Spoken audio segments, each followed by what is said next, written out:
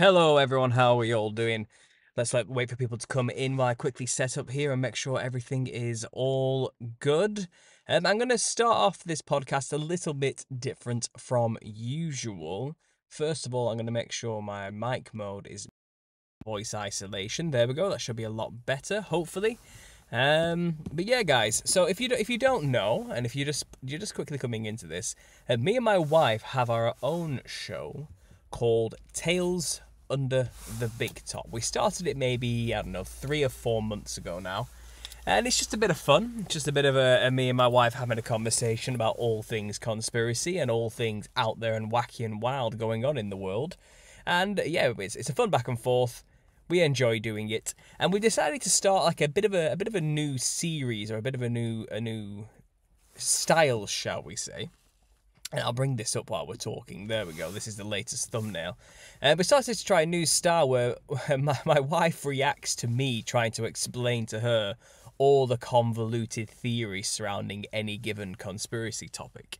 So the just just a few days ago, me and her discussed about the end of the world, and I tried to explain to her all the numerous versions of the end of the world that I've discovered um, over my decade um, time researching all of these topics and all of these things.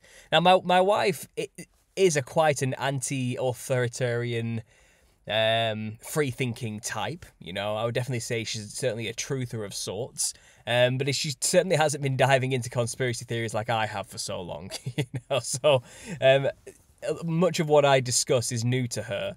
And she's very open to it, very, very uh, interested in listening. And this is what the episodes are kind of going to be about. Um, we'll pick a topic, and I'm going to try my best to lay out for her everything I know about that given topic and what the theories are and we'll just gauge her reactions and her natural questions to, to hearing such things. So what I'm going to do to open this up, I'm just going to play for you guys uh, maybe the first five to ten minutes of that show. It is currently premiering right now live on Tales Under the Big Top YouTube channel. And you can go find the link in the description to this video to go straight to that vid to that channel um, and that video and watch that and subscribe um, if you're interested. But for now, guys, yeah, I'm just going to play for you the first five to ten minutes of that, and then we'll crack on with my show and we'll get on with discussing whatever you guys want to talk about. I'm hoping I can get some call ins today. Maybe we, while we're waiting, I can get you guys to uh, share your interest in being a call in guest today. Um, you won't need your phone necessarily. If you have a laptop, you can do it too. It will all be online, probably through Zoom um, or maybe even Skype. We'll see which one's easier. But yeah, guys, I'm going to play this a little bit for you now. Um, I'm going to switch over here so we can play my my audio. I'm going to turn my mic off. And yeah, just enjoy the first five to ten minutes snippet here of, of what me and my wife get up to on a Wednesday afternoon. We're just free from our from our toddler for a little bit while he's over at Nana's house, you know, and we get to just have a bit of a discussion about all things conspiracy. So I hope you guys enjoy this.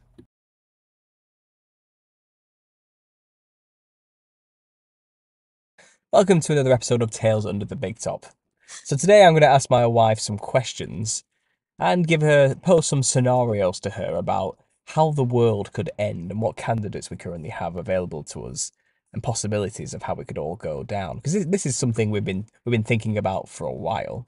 And of course, most of my Christian listeners out there will probably say, "Well, we know how it's going to end because of what the Bible says." But uh, you know, I th- I think there may be room for interpretation a little bit just a little bit, because we don't know the specific details. What we do know, and we were just discussing this before we started, that there's going to be some huge, all encompassing, every single person in existence involved with type of war. And that those people are going to surround the camp of saints, whatever that is, and go to war with it. And then it's the end. Fire comes down, everything gets destroyed. Hang on. Are you making fire comes down a thing, or No, no, this is what it says in Revelation. It says at the end, they'll and they'll march up the broad plain of the earth and make war with the camp of saints, at which point God will just rain fire down and destroy everyone and everything. And then it's the final great white throne judgment in heaven. Everybody just is before the throne in heaven, everyone who's ever existed ever. And then it's the final the heaven and earth, the physical realm gets destroyed along with all the evil entities who made it bad, like the devil and things like that. You know, they all get destroyed in the like I think the fire. problem with this podcast. And then there's a new heaven and earth, and everyone gets to repopulate that again. I think the problem with this podcast is going to be that I can't take certain things seriously because you said it's going to rain down fire. And all I'm pitching is like a fire breathing dragon. you know what's funny? Actually, you've just reminded me. There was a film that came out in like 2008 called Reign of Fire, mm. Which is about dragons being discovered under London and suddenly coming out on Earth and taking over everything and Do you destroying know everything. what? Do you know what I'm getting tired of? I'm getting tired of suggesting things and you being like, do you know what? I've actually seen this thing or I've heard this thing.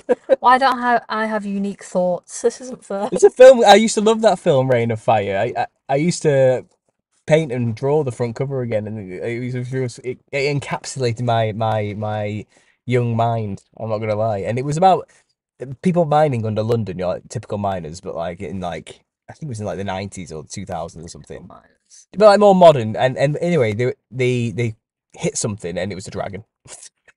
the dragon was pissed off, came out. And then next thing you know, the whole it's like 20 years later, the whole earth has just been completely destroyed and everyone's living underground in fear of dragons. That's what it is. It's called Reign of Fire. So when you said I just imagined a dragon, I thought, you know what? Maybe that was predictive programming all along. They were telling us this, you know. Yeah, who knows? But anyway, that's the biblical scenario. That's the end end of the world. Okay. So That- hang on, wait a minute. Am I on Earth while he's raining down this fire? I don't know, you might be dead by that point before this war happens. you know, Right, no, right. If let's say- let's say it was gonna happen like today, Mm. Is he just gonna rain that fire down on me while I'm still on Earth, minding my own little business? I have no idea. It depends if you went to go You're make gonna burn me to death. Well, I, to be specific, I may be embellishing by saying the whole Earth gets burned. I think anybody who goes to march against the camp of saints and surrounds it, they all get burnt up. Oh, so this is like a nuke that is aiming for one specific. I think it's literally just a ring of fire comes down and destroys the ring of people who've surrounded the camp, Right, but he's still gonna burn these people. That's- who have made war with Jesus, literally in a very literal sense. Yes, there may be smatterings of people all around the Earth who didn't make the march. They didn't go to make war with him. You know when you make those little charts where there's two circles and they like overlap in the middle? Oh, what are they called? Oh, a Venn diagram. Yeah, right. Yeah. So what- now I'm picturing like there's the ring of fire over here, and Mm. then there's the people that aren't fighting or aren't making war or whatever, however you've phrased it. I'm smack bang in the middle. What happens to me? I'm in that little overlappy little fraction then. what? Do oh, uh I just get caught up with the ring of fire because I'm not on this side? Well, I think those who made war with the camp of saints will get burnt with fire physically. And then what we're told is it's great white throne judgment. So I think all this would fade away and your consciousness would suddenly appear in heaven. And you wouldn't have a physical flesh body anymore. You'd be in the in front So they die, Yeah. but I'd be thrown in front of a judgment. I think transmuted is the word. You would no longer be in your physical body. You would just probably just oh, blink and you're in front of the So throne. the good place. the throne of God. You're in front of the throne of God, ready for the final judgment at the end of time. No, I meant the good places in the TV show. Yeah, when kinda she wakes up dead. I suppose like, just like the good place on Netflix. She wakes up dead, and then she's at this like judgmenty place. Yeah, yeah, but I don't think you'll be in like a human body. I don't know how. I don't know. I don't know. I'm not. I've not been to heaven. I'm I hope if I am in a human body, I'm, I'm skinnier. yeah, that would be nice. Yeah, the perfected body. But uh, there's there's a lot of debate in theology about what happens then, because there's it says the heaven and earth and the the false prophet and the beast and Satan gets thrown into the lake of fire and destroyed with the earth. All the demons, no, the the Oh, wait, I need to understand here. So the Ring of Fire thing. So when you say all them lot are gonna get burnt, does that mean the dead gone? They're not going to the judgment. They've no, no, they, no, they get burnt like- and it goes to judgment. Oh, they also go to judgment. It's just this is just physical stuff. So, yeah. so then it doesn't really matter then. everybody ends up there in the end. So it doesn't matter whether I, because right. So I could be, I could be on that side getting burnt down, but then I'm still gonna get judged in a different spot. Yeah, maybe your judgment would be slightly harsher if you were the one of the ones that went to go make war with the Camp of Saints, though. You know what I mean? Depends what I was Um, making war for. And mostly, mo- and, and that's this is the idea as well. You could be covered if you did it ignorantly. Uh, so this is, again, there's so much debate here about what how this works. This is what But say you are a Christian and you were tricked Okay, because like I explained to you earlier, so that how could they pull this off? Let's talk about this end of the world, this particular. No, wait, end of the world wait, one scenario. second. The whole I could be tricked thing. There's going to be loads of people up there going, "Oh, but I was tricked," when they weren't. Yeah.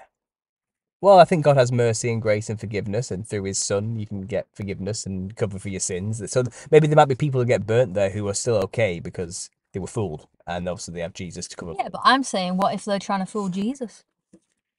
What if they're saying, "Yeah, but yeah, but I was tricked though." well, you can't lie to an all knowing, omniscient being. He knows everything. know. That's the difference. So it won't- it I'm wouldn't trying work. to find out. There'd be humans out there probably think they could, This is what I mean. but they can't. That's what I'm suggesting. that's called hubris. That's called foolishness, pride. But uh, any anyway, in this particular scenario, I think they could convince everybody to do this because look, this is the whole Earth marches up Do You think they could convince everyone to fight the camp of Saints? the camp of saints, but they wouldn't know they were doing it. which is what we don't want to do. We don't want to do that. So, so people who are waiting for the end of the world in that sense, and these these people uh, who are in my conspiracy world, for Hang example. on, no, sorry, I'm sorry for interrupting again, but you're saying you could convince everyone to do it, and I'm just sat here thinking there is no way in hell anyone could convince me to do anything I didn't want to do. So how are they going to do that? Well, this is the question. How are they going to convince so everybody to agree to come together as one unit and make war with one specific thing? And perhaps aliens. If we believe we are under attack by an enormous mothership that's come to destroy the earth, perhaps all of humanity would drop their differences and come together as one and go march up to go make war with it for the sake of the humanity's future. Now, if you if, if they sold that, now that's the plot of every movie ever. No, but you've kind of right. We've kind of already had this conversation with the alien thing. The way you just did it, I still was not expecting you to say aliens. you were like, Aliens. perhaps aliens. That was not what I was expecting, and I've already heard you say it, so I don't know why not. Well, I'm, I'm I'm like that crazy meme that guy's like aliens from History Channel. Like, It will be a case of like, so say they're trying to get us all to fight this camp of saints, and they need everybody to go do it, and then there's little old people like me, like get stuffed. I ain't doing anything you tell me to do. Won't they just get all these people that they've already convinced to turn on me, get rid of me, and that would be way easier than what you're suggesting? possibly they might kill all the traitors who refuse to fight for Wouldn't that be easier, more efficient? Well, not everybody would. Most people would agree. Let's go fight the aliens. Yes, and then there would be little outliers like and then, like, the, the, maybe the two to three percent of people are like, "Nah, lad, that's definitely fucking demons."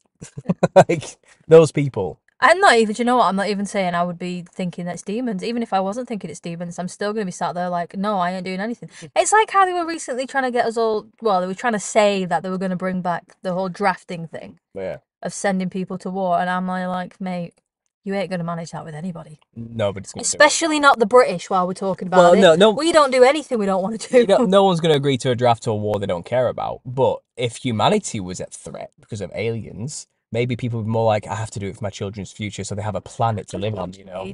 Because I'm just like, Nah, let it burn. I'm just, I'm just jaded, like, because I really am. I'm not the person to be sat here doing this because I'm so jaded that I'm just sat here thinking, yeah, but I'm gonna die anyway. Mm. What's it matter whether it's now or in like 30 years' time? It's coming. well, And I can't predict whether it's tomorrow. So if you're telling me that you might, like, listen, if you don't go fight for this, you might die tomorrow. What you're telling me is, I might die tomorrow just because, or I might die tomorrow because you think we're gonna do, go do this fight. yeah, yeah, look, yeah, look, I agree. You're never going to get convinced to do anything any authority ever tells you to do ever, right? We get that. The audience gets that. Okay, right. But let's talk about the point of the end of the world here. In this scenario, think about this. Jesus, as I told you, the Revelation comes to bring an end to the world to create a new heaven and earth. So the heaven and earth, no, earth is going to get thrown into the lake of fire. So technically, Jesus comes to destroy the earth. They would tell us aliens have come to destroy the earth. And most of humanity would be like, let's fight back against the aliens because all the programming has taught them. Independence Day started all this, you know. I War of the Worlds. like, Everyone people would. People believe in aliens. People, people have been programmed with the whole space stuff. NASA, millions and billions of planets. Alien invasion films have been ramping up for at least like 100 years now. Everyone's primed and ready for aliens to turn up. So when they do turn up, well, maybe not you, because you don't watch those type of things. but most people, That's true. Maybe that's my problem. I most people are prepped for aliens like and and for a long time, Christians be like, no, the demons, the fallen angels, they've always been here. They're going to pretend to be aliens and pretend to be our saviors. But I'm starting to think, no, no, no. Maybe when the big old mothership just appears in the sky, this giant ass pyramid, what if that's Jesus and the camp of saints? Why is uh it a pyramid? Oh, well, some people think it might be a giant cube. I'm just saying, whatever, it could be any. What is the? Hang on. What? I'm confused now. What the heck is this giant pyramid? What do you mean by? the New Yeah. Jerusalem, which is what where his city would be, his floating city, as it's described in in the um, book. They, they gave the dimensions of it, and and people say it's equal length on all sides. So people said it must be a cube, but it's like 106. It's like 1,600 miles wide and length. It's a huge ass thing, right? but see, people have assumed it's a cube. But I recently talked with Alpha Talks, and he says he's researching it, and people think it might actually be a pyramid. A pyramid works too with the descriptions.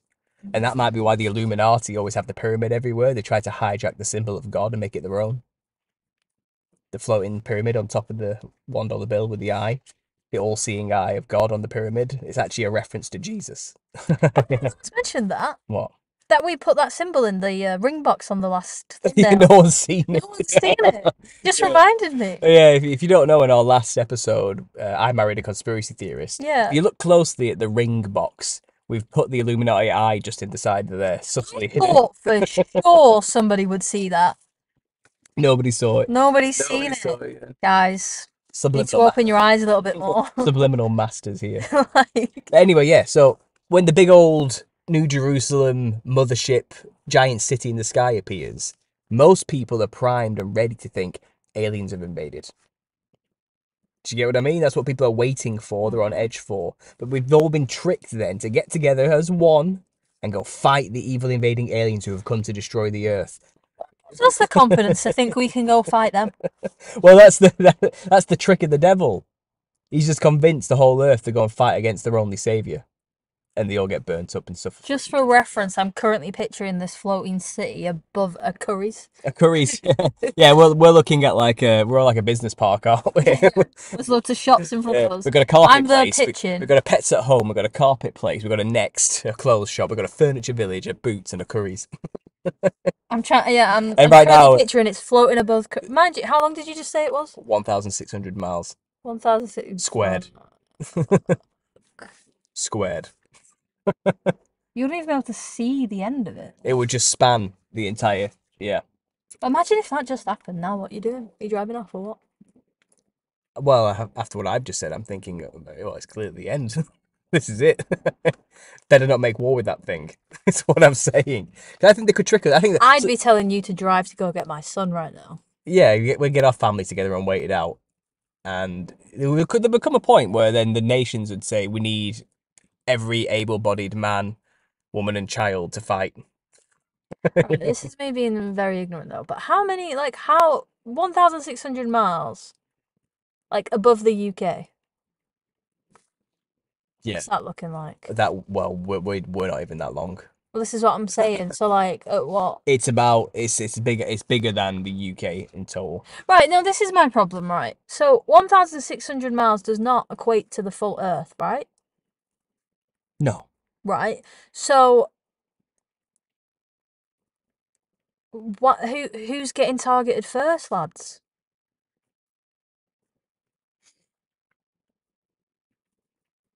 well, Because if that doesn't fit From on the- top of the from the- entire the entirety of the Earth, but from the theories I've seen, it's not going to go attack anything if it is Jesus. It's just going to become visible. okay, I don't mean I don't mean attack. I mean, if it's going to become visible, shouldn't it have been big enough to span Earth? Well, Because who's missing out here? you're assuming Earth is a sphere and that we wouldn't have. I'm not. I'm not assuming Earth is a sphere. I'm picturing it as flat right if it now. is a flat, let's let's just say for for for this theory's sake, it's the biblical cosmological version where everybody, no matter where you're on Earth, will be able to see it by looking north. But that's not 1,600 miles, surely. It would be big enough in this. Like, what is 1,600 miles then? Because It's it's that huge. does not seem like it seems big, but it doesn't seem Earth big. Unless is Earth is smaller than we've been told. So it says here in uh, 2116 of, of I think that's Revelation, the angel measures the city and it says it is 12,000 stadia by 12,000 stadia and 12,000 stadia high. Okay. A stadium is usually stated as 185 meters or 607 feet. So the base has a dimension of about, sorry, 1,380 miles or 2,220 kilometers. I just want to tell you, I heard none of that. So yeah, no, it's it's 1,380 miles by 1,380 miles at the base. 1,380 by 1,380. How many miles around the Earth is 24,900? Yeah. They're assuming that's around.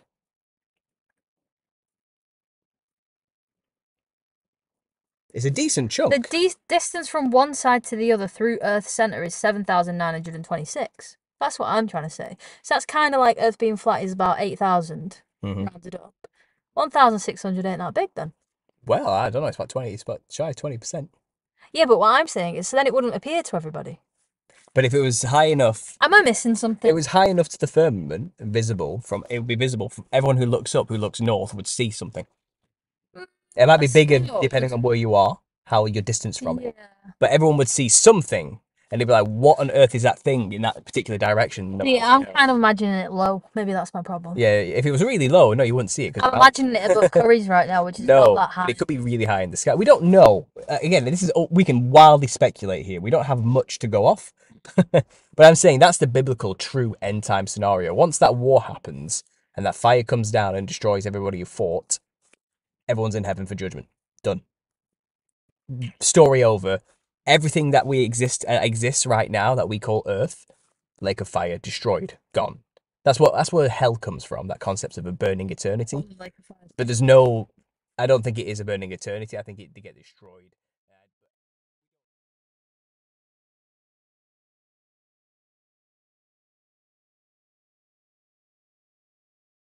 Okay, there you go, guys. I think I'll stop it there about 20 minutes or so, just shy. And that's just a, just a peek at what happens over there at Tales Under the Big Top with me and my wife, just discussing conspiracy theories. And for those who have just joined, uh, yeah, my wife is a free thinker. She's very open minded. Uh, she's certainly anti-authoritarian. She she has refused every mandate the government has thrown at us, and um, she's done all that without ever really researching conspiracy theories like I do. Uh, so a lot of these concepts I'm discussing are new to her.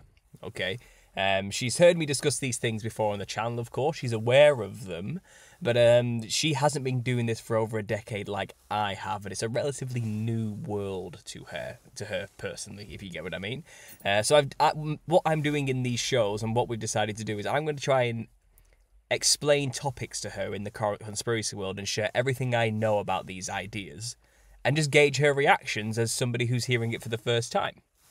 And uh, that's what you heard there, a snippet of that. And naturally, she had all the questions everybody who's hearing these things for the first time would have. And it's just a bit of fun, and we de- definitely have a lot of fun having these discussions. So I hope you enjoyed that little talk there, guys. Um, I'm just going to quickly switch this back to a slide. Let's, let's do a slideshow, shall we? What shall we do? Uh, I'll let my tips for truthers just roll in the background. Why not? Eh? Why not? And anything will do. That's fine. That's fine. And I'll switch it up to some Millennial Kingdom stuff in a bit. But yeah, guys, uh, thanks for joining me. I've got a decent uh, group of people here. What's that? 123 viewers so far. I did do a, a call to action in my Telegram group earlier to see if anybody at all wants to call in and have a bit of a chat tonight, okay? And I would love if anybody is interested to let me know. But as a filter system, You do have to have been a member of Telegram already. So anybody who's a member of my Telegram group and you are interested in calling in, let me know in on my U conspiracy announcements section on there. Okay, let me know if you're interested, guys. If you're listening in and you're a part of the Telegram and you want to just have a chat, share any of your thoughts and ideas on things. You know, any questions you might have at all. Um, but obviously, my, my, my vetting process is you have to be a relatively known entity. I'm not just gonna let some let some random start coming on and ranting at me about some random things, okay? But if you are a member of the Telegram and you do want to have a chat, let me know, please, guys. Just go there and make it known, okay? Just make it known to me. Send me a message or something. Send me a personal message because I do I do like uh, call-in shows. I've I've done a few over the years. I did one uh, maybe a month or two ago, and it went really well. And it's really great to connect with people, just the audience in general. So I, so hopefully, hopefully, someone will offer themselves up to do this. Um, but in the meantime, I guess there's a few things I can discuss. Uh, let me just quickly close this tab here, and we'll get this up. And I was actually just watching uh, Shelley's new video over at There's No Place Like Home channel. I don't know if you guys have heard of her, but she's a bit of a, a well known entity and name in the um, in the conspiracy world, talking about the Millennial Kingdom theory. I've had her on my channel. You can go and check that out. Um, and I am going to be speaking with her and somebody else on Tuesday, so I'll be sending some links for that soon as well. Should be good fun. Should be a nice conversation. We're going to have a bit of a back and forth and discussion about all things Millennial Kingdom. But she she made this video recently, which is quite interesting. I'll just share the screen with you guys. Da-da-da, screen share. There we go. As you can see here, um, it's uh, the latest one, which I've just watched. The 17 minutes, and it's called "Well, This Is Awkward," and uh, it's quite fascinating because this came off the back. If you haven't already, guys, go subscribe to her channel. Um, there's no place like home here. Shelley's channel and go watch some of her videos. Go check out the entire backlog because she, she covers some amazing in-depth things and she's, she's, just, she's just thinking out loud like the rest of us, you know.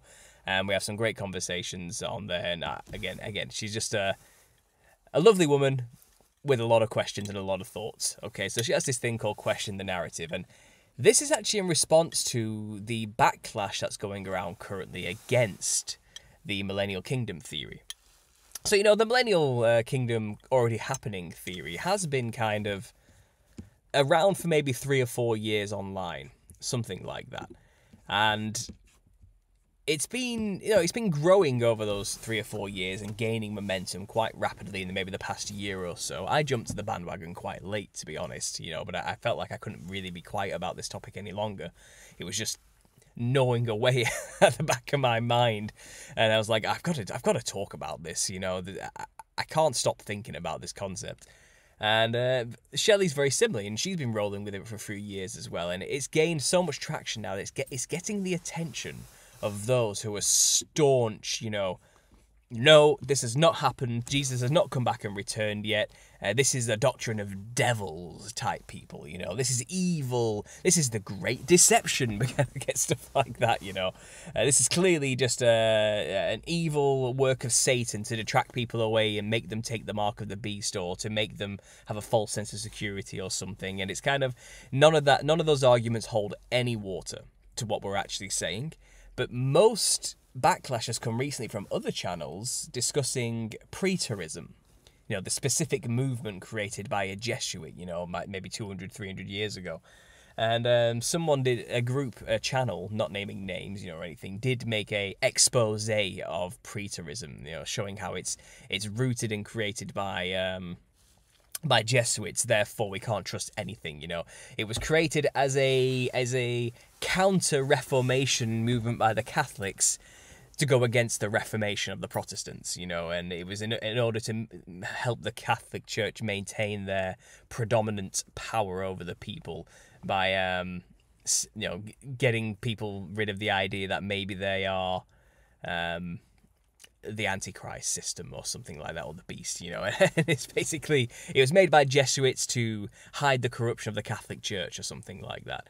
And, you know, I, I watched that that show, and all I could think was, this is ridiculous. You haven't even covered at all the quotes from Jesus himself repeatedly saying, I am coming back very soon, not in 2,000 years. I'm paraphrasing there. I know I'm paraphrasing there. But there's far too. If I was to amalgamate all the quotes together, it was pretty imminent in his language. He was saying, I'm coming back. The time is nigh. The time is at hand. I come quickly. These things must shortly come to pass. Not, you know, this temple will be torn down very quickly, you know. Uh, you, you know, you will not have made it through all the cities of Israel before I, before I return, you know. You will, uh, this generation will not pass away before all these things are fulfilled. It was all very and you know anyone who objects to these things has never mentioned the fact that this theory wasn't created by the Jesuits. These are the words of Jesus Christ himself. So what if a Jesuit formalized it, labeled it, and created a movement out of it? That doesn't mean they came up with it. That's not what happened here, you know. And it's kind of, if, if anything, that was probably their way of covering for themselves because they knew people would expose them as evil eventually. And if people think it's this theory is created by evil people, then no one's going to take it seriously. Or so maybe it was like a long con situation. Who knows? But this is not created by a Jesuit. And even then, preterism itself is a bit of a straw man to break down and debunk because that's not what people like me or Shelley are really talking about. We're not espousing the doctrine of preterism. Okay, sure, there are elements of preterist thought in what we're discussing, but even preterists don't necessarily consider there to be a physical millennial reign on Earth. Even some preterists or partial preterists would say, you know, only all the uh, the prophecies of Daniel, you know, and the uh, Olivia dis- uh, Olivia, I can't pronounce that, the discourse, you know, and the um, the predictions of Revelation, you know, are partially done, and there's still the millennial reign to come in the future. You know, they they some part most preterists, uh, you know, think uh, the reign is spirit, a spiritual thing, and it's still to or it's perhaps still to come in the future. What we're saying is is something else. We're saying Jesus literally said he was about to return, not long after he originally was died on the cross. It seems like he did. It seems like the temple was destroyed in 70 AD, yes. And it seems like the last thing we got in prophecy was that there'd be a millennial kingdom reign physical on earth. And we're saying there seems to be evidence to say that did actually happen and it's been covered up. And now we're living in the little season. Not all preterists talk about us living in the little season. They don't even mention that. It's not the same thing, you know, and a lot of these debunkers have just been terrible at debunking it. Uh, beating up one straw man after another and not really talking about the fact that Jesus did say, I come back quickly. This is soon. This is happening in their lifetime for the people around him during that time, you know. Anyway, Shelley, Shelley made a video here saying, well, this is awkward because it turns out futurist dispensational doctrine, which says that, you know, the tribulation is at hand in the future, and the millennial kingdom is yet to come, the, the, the predominant thought by most churches today, well, that also was created by a Jesuit. she lays out how you know you cannot say one thing out of one side of the mouth and not, and not talk about the other angle that both preterism and futurism are both doctrines of Jesuits. You know, so the I think they're both technically wrong in some way personally, and I, have said this before, you know, and I, I've and we need to find a new name for this movement because it's not preterism what we're talking about here. It's not this old weird thing that's been around for a long time that everyone's saying we're talking about. We're not talking about the doctrine of preterism. This is something else. This is I don't I don't know how to explain. that. uh, people call it uh, I don't know um, what's it? Little seasonists, you could call us, rather than preterists or something like that. I don't know. This is uh, the the Millie Rain theory. You know, I don't know what this is exactly. Uh, it needs a new name. It needs it needs something more formalized, I suppose. But it's it's certainly not preterism, which um, is the straw man that gets attacked. You know, and we are theorizing in a truly conspiratorial sense because of everything else that we've learned over the years while being in this realm that it seems like history has been covered up and what we call the middle ages or the dark ages was not a time of slowed down progression um, due to a dominant Christian uh, worldview, which slowed down the progression of, of technology and, and people, you know, and was full of disease. And then it was, it, it turns out it was actually incredibly prosperous beautiful time to be alive, perhaps because Jesus Christ was ruling physically in the New Jerusalem and people were making pilgrimage to him regularly in a very literal physical sense. And uh, some people people do not like this. There are people out there who cannot bear that idea. And you know, I read a lot of the comments on these things. I do. I read a lot of the comments, and uh, Uh, and I've I've kind of made this point too, and I, I kind of tried to discuss it with JT follows JC on my channel with Joe, and when we had the conversation, it seems like money's the issue here. Okay, it seems like discussing these particular topics is offensive to many established Christian leaders because they perhaps wrote volumes and volumes of books discussing how tribulation's about to pass and Jesus is about to return and this theory blows it all out of the water and probably makes him think, oh no, oh, oh no, all my work is going to be nothing now, you know, and some people go extreme in the comments and say they've spent most of their career making Jesus out to be a liar, as though he didn't say he was about to return imminently and we should be looking forward 2,000 years, you know, to a distant time. Um, and some pe- some people are not going to willingly accept the truth, if this is the truth, so easily because they've invested so heavily in the lie, just like most of the people in the world, you know. And again, I'm not saying these people can't change their mind. They probably will eventually. I, I, think, to be honest, if they sincerely look into this concept with an open mind and heart as a child, reread the word from this perspective, they'll see that it actually fits a lot better than the mental gymnastic kind of doctrine they've had to jump through hoops to try and make sense in their minds for so long, such as the futurist doctrine. I think they'll find it's actually a lot simpler and a lot easier through the preterist view, because it, well, I say preterist, through the little seasonist view, you know, because it actually shows that Jesus wasn't a liar and he meant what he said when he says, I was returning quickly. And he did fulfill his promises. He did rule for a thousand years, and Satan has been loose for a little season. And what is coming next is not the great tribulation, but it's the final great white throne judgment at the end of time.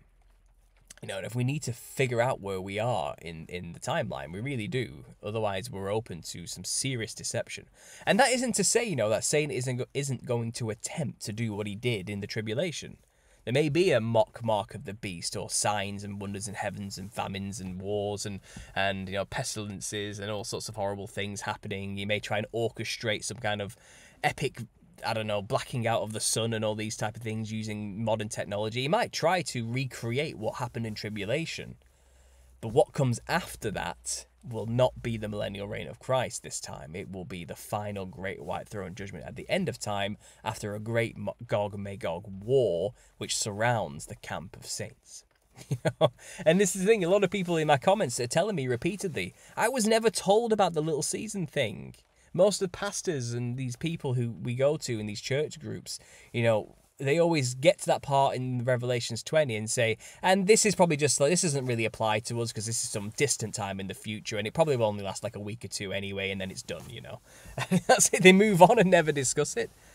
And, you know, I, I was theorizing and I was just thinking about this concept earlier, and you know, my, my brain does reel sometimes, and I forget what I'm, I'm trying to say, and I'm sorry if I ramble a bit on this one, but you know, these just the tra- trail of thoughts I'm getting, and you know, I was reading Revelation 20, I was reading where it says, you know, and Satan's loose for a little season, you know, where he gathers an army, um, whose numbers are the sands of the sea, and they march up the broad plain of the earth and make war with the camp of saints, and then God brings fire down from heaven, and then it's great final great white throne judgment. You know, you, you read that, and it's kind of it's such a quick summary of something which we know will take a long time and it's probably far more complicated than what we were simply just told in these these like four or five throwaway lines at the end of Revelations, you know, uh, Revelation, sorry, singular, and um, I I couldn't help but feel this is like a Genesis six situation again, right at the beginning of the book.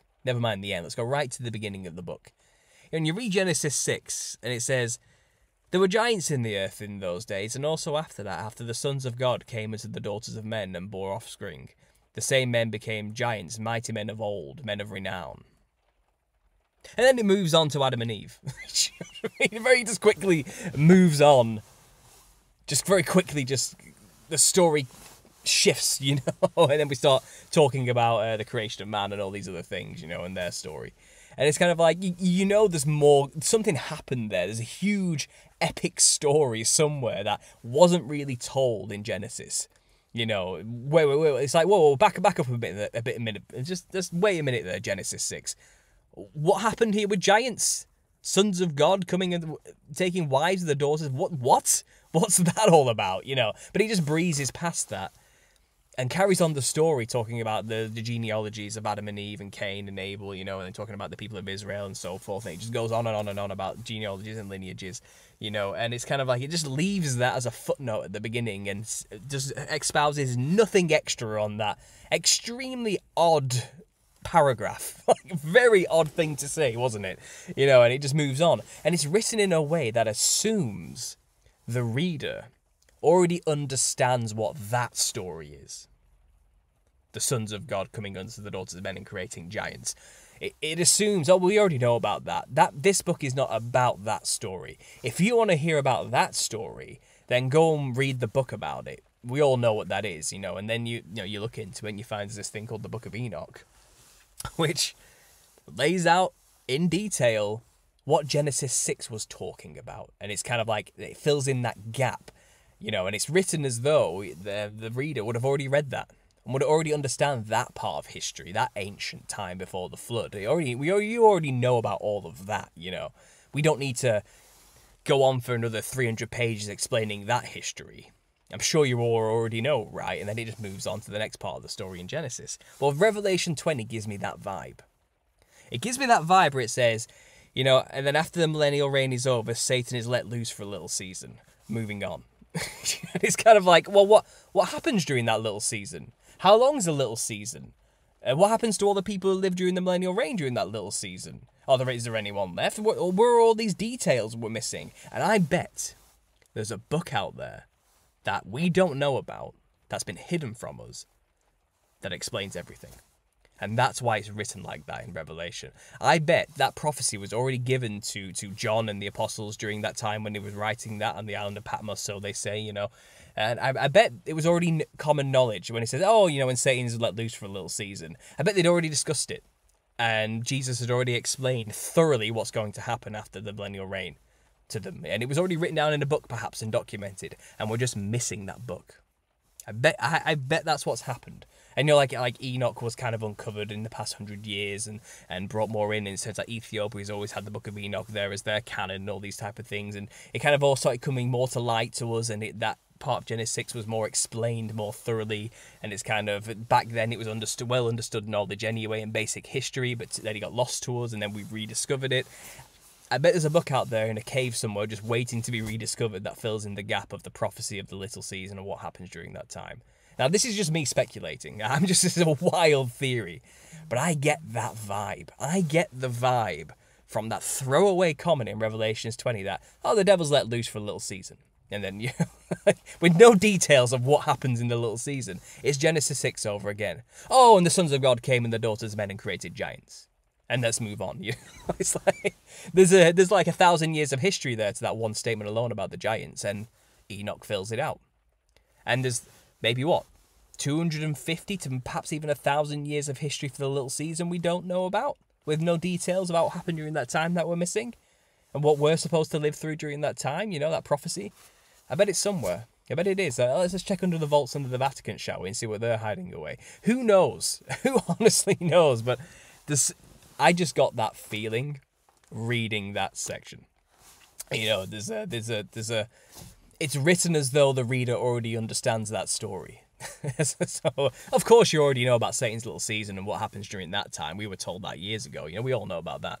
But you know, right now, I'm just focusing on what Jesus told me to tell you, which is specifically, you know, about the coming tribulation that we're all about to experience.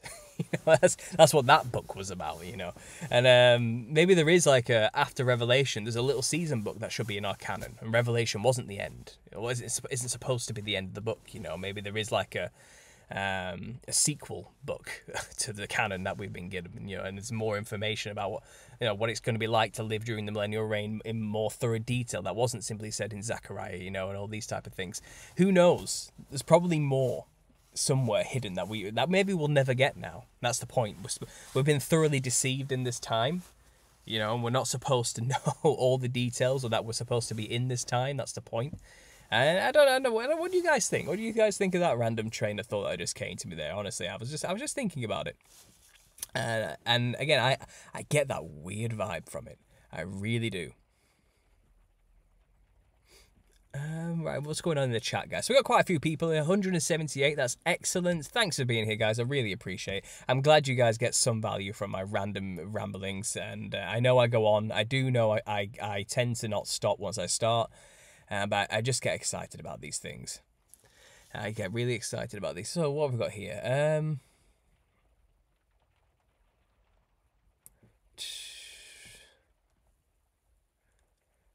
uh, sorry, guys. All right, well, it's hard to go back and read so much because uh, there's a lot of comments.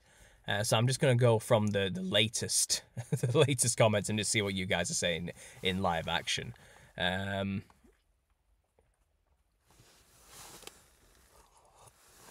Just curious as waiting for the Kings of Kings. What are your thoughts on the genetically marked? With a little symbol there. Perhaps more susceptible to be coerced as Satan's army against the saints wanting to die, but death will flee from them. I'm not sure if there's a connection there necessarily right now. Um, me and my wife did actually discuss this concept in the end of the world video we made, which was played at the start of this. Um, you can go to our the links down below in my description. Um, to Tales Under the Big Top, my me and my wife's podcast, and we do discuss that particular thing. And we had to uh, bleep out a few things because we said too much. you know what the algorithms like with this particular subject. Um, but from what I saw, it seems like this is more of a depopulation attempt than um, maybe to to corrupt people to the point where they become super soldiers yet. It could could be that the corruption that has been caused by this particular thing you're referencing, maybe the solution we're going to be offered is a mark that will in some way enhance us or make us invincible. And that's where the transhumanist angle might come into it, creating super soldiers in a way, superhumans that could then willingly and believably fight against the camp of saints in their own minds. They'll think themselves to be strong enough, you know. Um, and again, we do we do go through this thoroughly in that talk. Um, and there's only so much I think I can really mention here before um, we get in trouble. So I'm, I'm probably going to leave it. Okay, I'm probably going to leave it there. But it's an interesting thought experiment, interesting question as well. So thanks for asking. Um, I'm just I was just thinking as well. Sorry, I'm about to go on another rant, but I've got to say this while it's still in my mind before I forget. But I was listening to me and my wife there talk, okay, and we were discussing the end of the world scenario about the Great White Throne Judgment and the war that comes just before it. Okay, and we're trying to figure out how would Satan convince the entire earth to come together as one to go fight against the camp of saints? Now, there would have to be a deception at play. Maybe. Okay, maybe he does convince everybody to just be evil and against Jesus thoroughly and go knowingly and witting and knowingly make war with Jesus. Maybe. I feel like there's going to be a bit of a lie at play. I think like the majority of people that make that war with the camp of saints are going to be fooled. And we were speculating that okay, so everybody's been programmed to believe aliens are attacking us if they were to witness an enormous mothership just appear above everything. Okay, we, think Independence Day. You know what I mean? We everyone's if anyone saw an enormous, vast, sky expanding, floating thing in the sky appear, everyone would assume. 99% of the global, well, earthly population would assume aliens have come to attack. Even a lot of Christians would likely believe that too, because they're not all they're not all flat earthers. You know what I mean? We I think we can forget sometimes in our little echo chamber in the conspiracy world here that what we believe is not believed by the majority of the population on Earth. Okay, they do not even know about the things we talk about. May we may constitute as a whole. I don't know, 0.5% of the entire population of the earth, the people that know the stuff we know and think about, okay? So when when this thing appears in the sky, let's say it's either a giant cube or a giant pyramid of some kind that spans 1,380 miles to the to the eyes, and everyone who looks north could just see this thing in the distance. You know what I mean? If they're not close to it, all right. 99.5% of of the Earth will say aliens. okay, that's what they've been programmed to believe. And then there'll be a mass events, perhaps, where people will be convinced to band together as humanity as one to go fight the common enemy we now face an alien threat that's come to destroy Earth. And they'll tell us all these things, saying the aliens have communicated with us, uh, the world leaders, and they've said they've come to bring war and to destroy us, and that we need to give up um, resistance is futile, you know, and the truth is, nobody's talked to them. They're all in it together, remember. These are all evil people who control the world. They've just lied to the public and said the aliens said they're here to kill us all. We need to band together. We need every able bodied man, woman, and child to come together to fight the aliens, everybody. It's time. It's time. To, it's come together time, you know. It's time to drop our differences, stop these petty wars. Let's all become one unit and all go march up towards the north where this thing seems to be chilling, and let's get it before it gets us. Let's get them. and is that not the Camp of Saints scenario? Is that not simply New Jerusalem has revealed itself? It's the end, and Satan's convinced everyone on earth to come together and go make war with the Camp of Saints. Is that not what's just happened? And I was thinking about there must be an extra layer to this. And I was thinking about Project Bluebeam is, is included here, isn't it? And the fake alien invasion stuff that's been pushed on us, and that we have well, we've been researching in the conspiracy world for a while that they're planning a fake alien invasion using holographic technology, perhaps some drones and explosives and some theatrics involved with the holograms to make us think UFOs are fighting or blasting us when it's probably just drones blasting us with a hologram wrapped around it. So, you know, like the plot of uh, Spider-Man, for example. You know, Far From Home, I think it was called, or No Way Home, or something you know, where Mysterion had his own holographic projections and drones creating monsters that weren't really there. Predictive programming stuff. They were telling you the truth, you know. but imagine if they do something like that. Say the mothership appears and it's just Jesus chilling with his saints. He's not going to attack us because that's just not what he does. You know, that's that's that's the Son of God. He's not here to just wipe us all out cruelly and destroy the the Empire State State Building with a laser like in Independence Day. That's not going to happen. He's literally just going to become visible, and then that's the final call. Then, isn't it? This is right. It's the end of the script, guys. Make your move. You know, and he's just going to sit there. All right. But then, what the evil controllers could do is then do the fake alien invasion thing and make it seem like all these UFOs have just appeared when the mothership appears and start blowing everything up and attacking places and you know and it's the ultimate false flag event isn't it? And we are going to believe the mothership has just sent all these tiny little ships out to to kill us all. When really it had nothing to do with the mothership that just appeared. It's just chilling there. It did nothing. They have gone out of their way to release everything at that moment against humanity to convince us that it's the invading aliens that did this. That would be a very convincing scenario to make everyone rally together to fight back, right? It's not just enough that a ship just suddenly appears, that let's say New Jerusalem just appears, and everyone's been convinced that's the mothership of evil aliens. That's not enough. But if they can make it seem like the evil aliens have attacked by using all their technology to make a false alien invasion, then we would be convinced to go and make war with it, right? To defend ourselves. We can see what they do.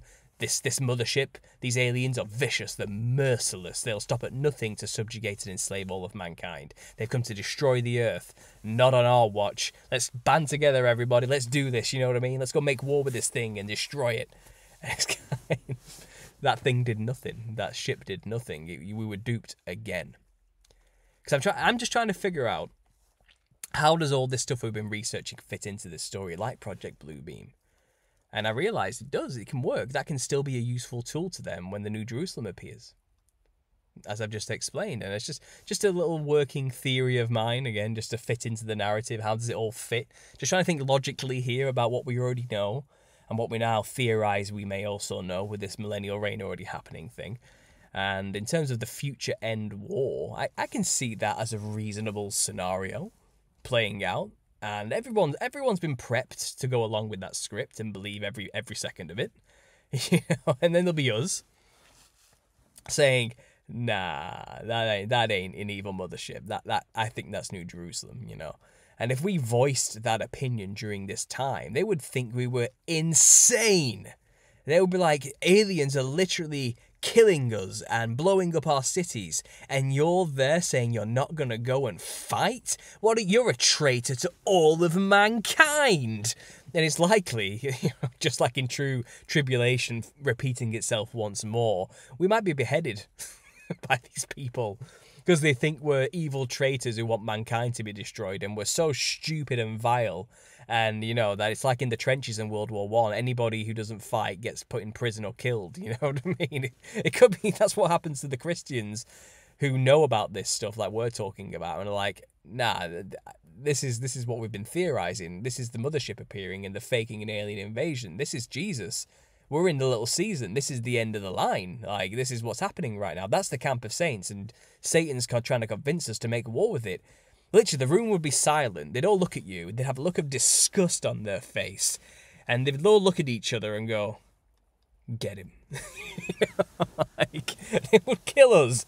just for saying something like that because did these people have just lost their homes their loved ones due to the fake alien invasion the first wave you know these people have just had their entire cities destroyed. They've just watched their own children be crushed in front of them by falling debris or something. And these stupid backwards like desert religion believing Christians are still talking about Jesus during a time like this where there's unequivocal proof and evidence that it's all fake because aliens have turned up, which means it's vast infinite space.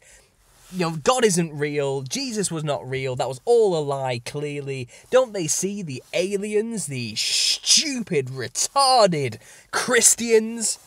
That's what they'll think. That's how they'll act and react to people like us saying these things at the time. We will seem like backwards lunatics in the in sight of alien invasions.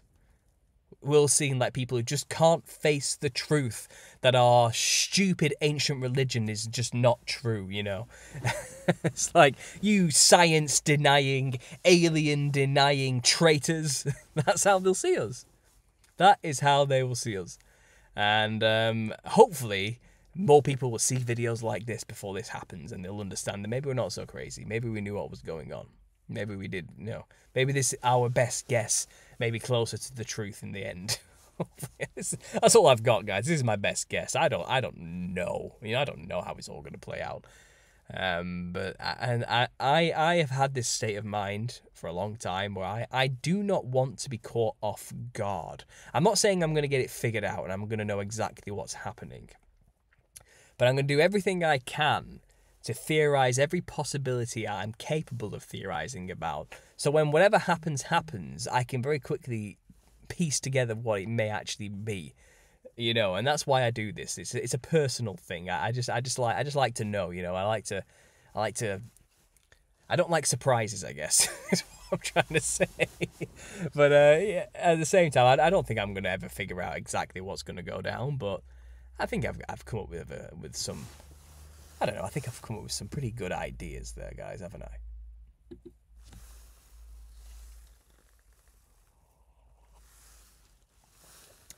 Anyway, let's check the chat. Let's see what's going on. Let's see what you guys are doing. All right. Um, notice how many movies have the theme of nuking a mothership. Yeah, exactly. and it's the hubris in these movies that they make us believe in these movies that humanity wins, humanity prevails on this one, you know? And Jesus, at the end of the day, he does come to destroy the earth. You know, the heaven and earth will be thrown into the lake of fire, will be destroyed. And then there'll be a new heaven and earth, and what comes afterwards will be better than anything we, we could ever imagine, you know? Um, but Jesus does come to destroy the earth in the end, essentially, you know, and that's that is the plot of every alien film, you know, that the aliens come to destroy the Earth.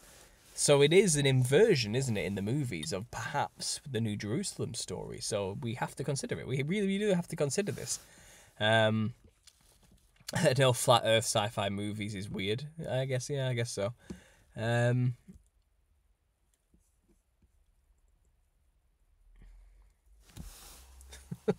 What's this?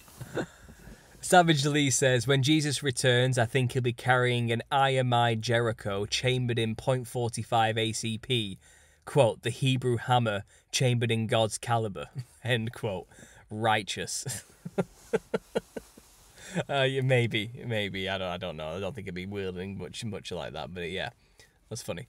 Uh, it would be fired the second it became it would be fired on the second it became visible. Maybe not, you know, maybe it wouldn't be because um, the programming shows us that humans tried to make contact first. Then they realized they were foolish to even try, you know, or something like that.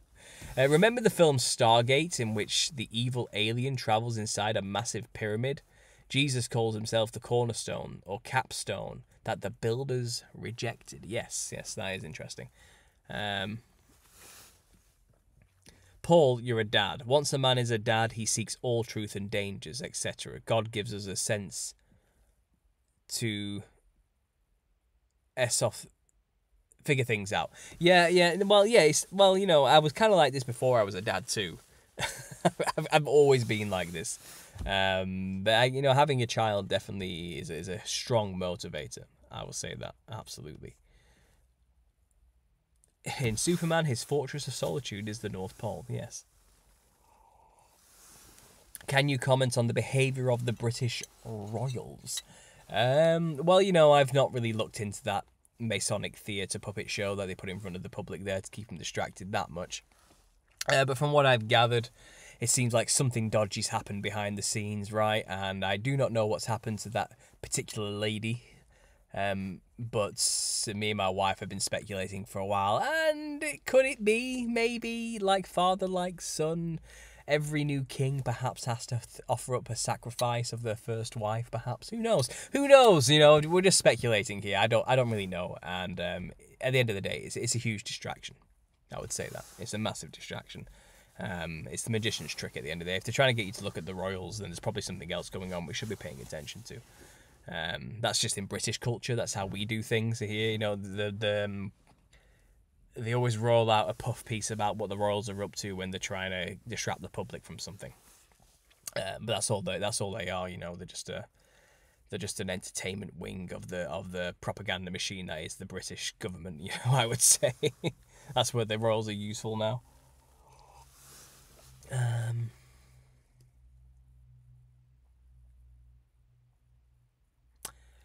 They're reptilians. yeah, that's a classic one, isn't it? Uh, this channel is interesting, says All Glory to God. Oh, well, thank you. I'm glad you're enjoying uh, what I have to offer you. I appreciate that. Um, there is a picture of this pyramid you speak of. NASA supposedly photographed in deep space back in like the 70s, I think. You know, I've never seen the image, but uh, I do know uh, Joe uh, JT Follows JC was telling me someone tried to make a debunking video about um, preterism again, the straw man against him, saying, "Oh, well, Joe believes in this falsified image of the pyramid," and like Joe's ever even mentioned it before. He's like, "What? I don't even talk about that." but I've heard of it. I've never seen it. I'm not going to reference it myself because I don't know if I can trust anything that comes from. You know, NASA's CGI. Like, I don't know if I'm going to trust anything that they supposedly photographed. Really, I'm, I, I don't know. Uh, the royals are connected to the tribe of Dan. Are they not? Uh, I, I just, I don't know if I can believe anything they say about where the true connections or bloodlines come from. It's likely they're all the descendants of Nephilim more than likely than anything biblical. Um, there's a British guy that hacked NASA. I'm sure there is. And I'm glad the political theatrics aren't solely an American thing. Yeah, you know, it's it's all a dog and pony show. It's it's all a kangaroo court in Britain. It's all nonsense and, and just just bollocks. You know, it's part of my uh, British my British uh, swearing slang, but I am not interested in following anything like that. I haven't uh, have a I haven't owned a TV aerial in like six years, and I don't intend to ever get one ever again. I don't watch the BBC. I do not watch broadcast television. I control what I see and I do not read the newspapers or follow. I'm actually incredibly unplugged from the mainstream narrative. I don't know what's going on. People like you tell me, okay? I got my thing I like to focus on. I got my own research I like to d- dig into, and I got my family life and my, my company and my, my life to focus on. Um, I'm not. I don't give in or watch TV much because it's just all fear. It's propaganda. It's pain and misery and and it once you watch it I've, I've I've felt it before and I see it happen. And once you start getting locked into their narrative you can start losing your mind a little bit you know? You can start get, really getting fearful and that's all it's for. Unplug from the narrative. You know I've, I've said this plenty of times before and I'll say it again.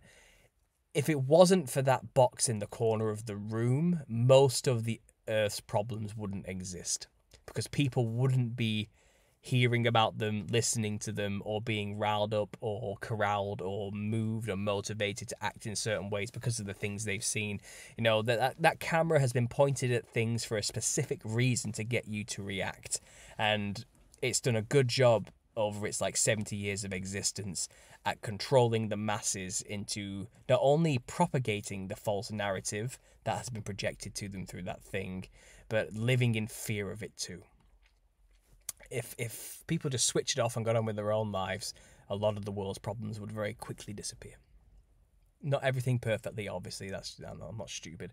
I understand this also includes phones as well, and the media, the you know, and the yeah, the social media aspect of things as well. All of that included. I, I don't get involved with social media debates and things like that too. You know, um, and I'm much happier for it. And I think everybody else would be too if they realise it's not necessary. Um, not necessary at all. And if you're in Britain, by the way, you don't have to pay for a TV license. It's a con. Stop it. Okay. you turn it off. Don't watch live television. Stop paying the taxes that go towards paying for the corrupt BBC. Just stop it. Anyway, what's going on here? Um,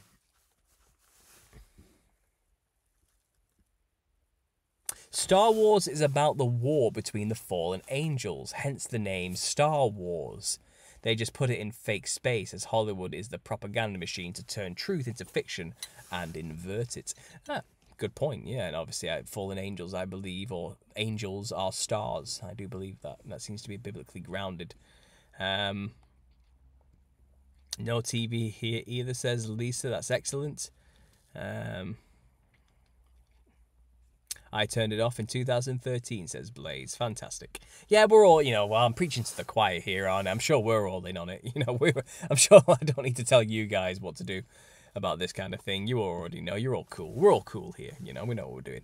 Um, I had a TV, but not right now. But I watched YouTube on it. It's better than a tiny screen. Yeah, I know screens are useful tools, absolutely, but mainstream broadcasts are not. Uh, they are run by tools. There's a difference. All of these devices are black mirrors and can be used for evil and programming. Yes, absolutely. We've got to be careful. Um, Uh, understanding conspiracy, could you interview Alan of the Mud Flood Was Armageddon YouTube channel about the millennial reign? Um, you know, uh, me, me, and Alan have a bit of a weird, tenuous relationship. I mean, I know he's a regular in my chat here, and I, you know, I don't mind the guy coming in to talk and everything. Um, but he doesn't agree with me on the Nephilim like clowns thing, and he has made videos espousing how I am I am supporting the genocide of people by saying they're not human. Um, which is ridiculous. so I don't know if I'm going to have somebody who accuses me of, of, promoting genocide on the channel necessarily. I don't know how much of a amicable conversation we could have. Maybe it's best we just do our separate things because of that. But I am aware that he was actually one of the original people on YouTube to discuss the Millennial Kingdom theory, and I'm not going to stop other people from going to check out his work. You know, go check it out. Uh, go listen to what the guy has to say. I know he's been demonetized, had his channels taken down over the years, you know, and I know he's he's he's not afraid to speak his mind on things. So go ahead, you know, go check out um, Alan from Mud Flood Was Armageddon and listen to his work on this thing. But uh, unfortunately, I do feel like bridges were burnt. um, and I don't feel like I, uh, um, you know, it's, it's my fault necessarily, but you know, my initial reaction to this was, you know, you have some nerve talking up here in my chat after making a video calling me a genocide supporter. I don't know. I don't think I don't think he's evil. You know, I don't think the guy has bad intentions or he's a shill or anything. And I'm not into that kind of world. You know, I don't. I don't. I'm not a shill hunter. Um, I, you know, yeah, you know, I all props and credit where it's due. He was one of the first people to be talking about this topic, and you should definitely go check out his work. Um, but I think that's as far as our relationship's going to go, unfortunately. Um, I use my TV, Xbox, and phone to study the Bible. Well, there you go. That's turning uh, the negative tools into something useful for sure.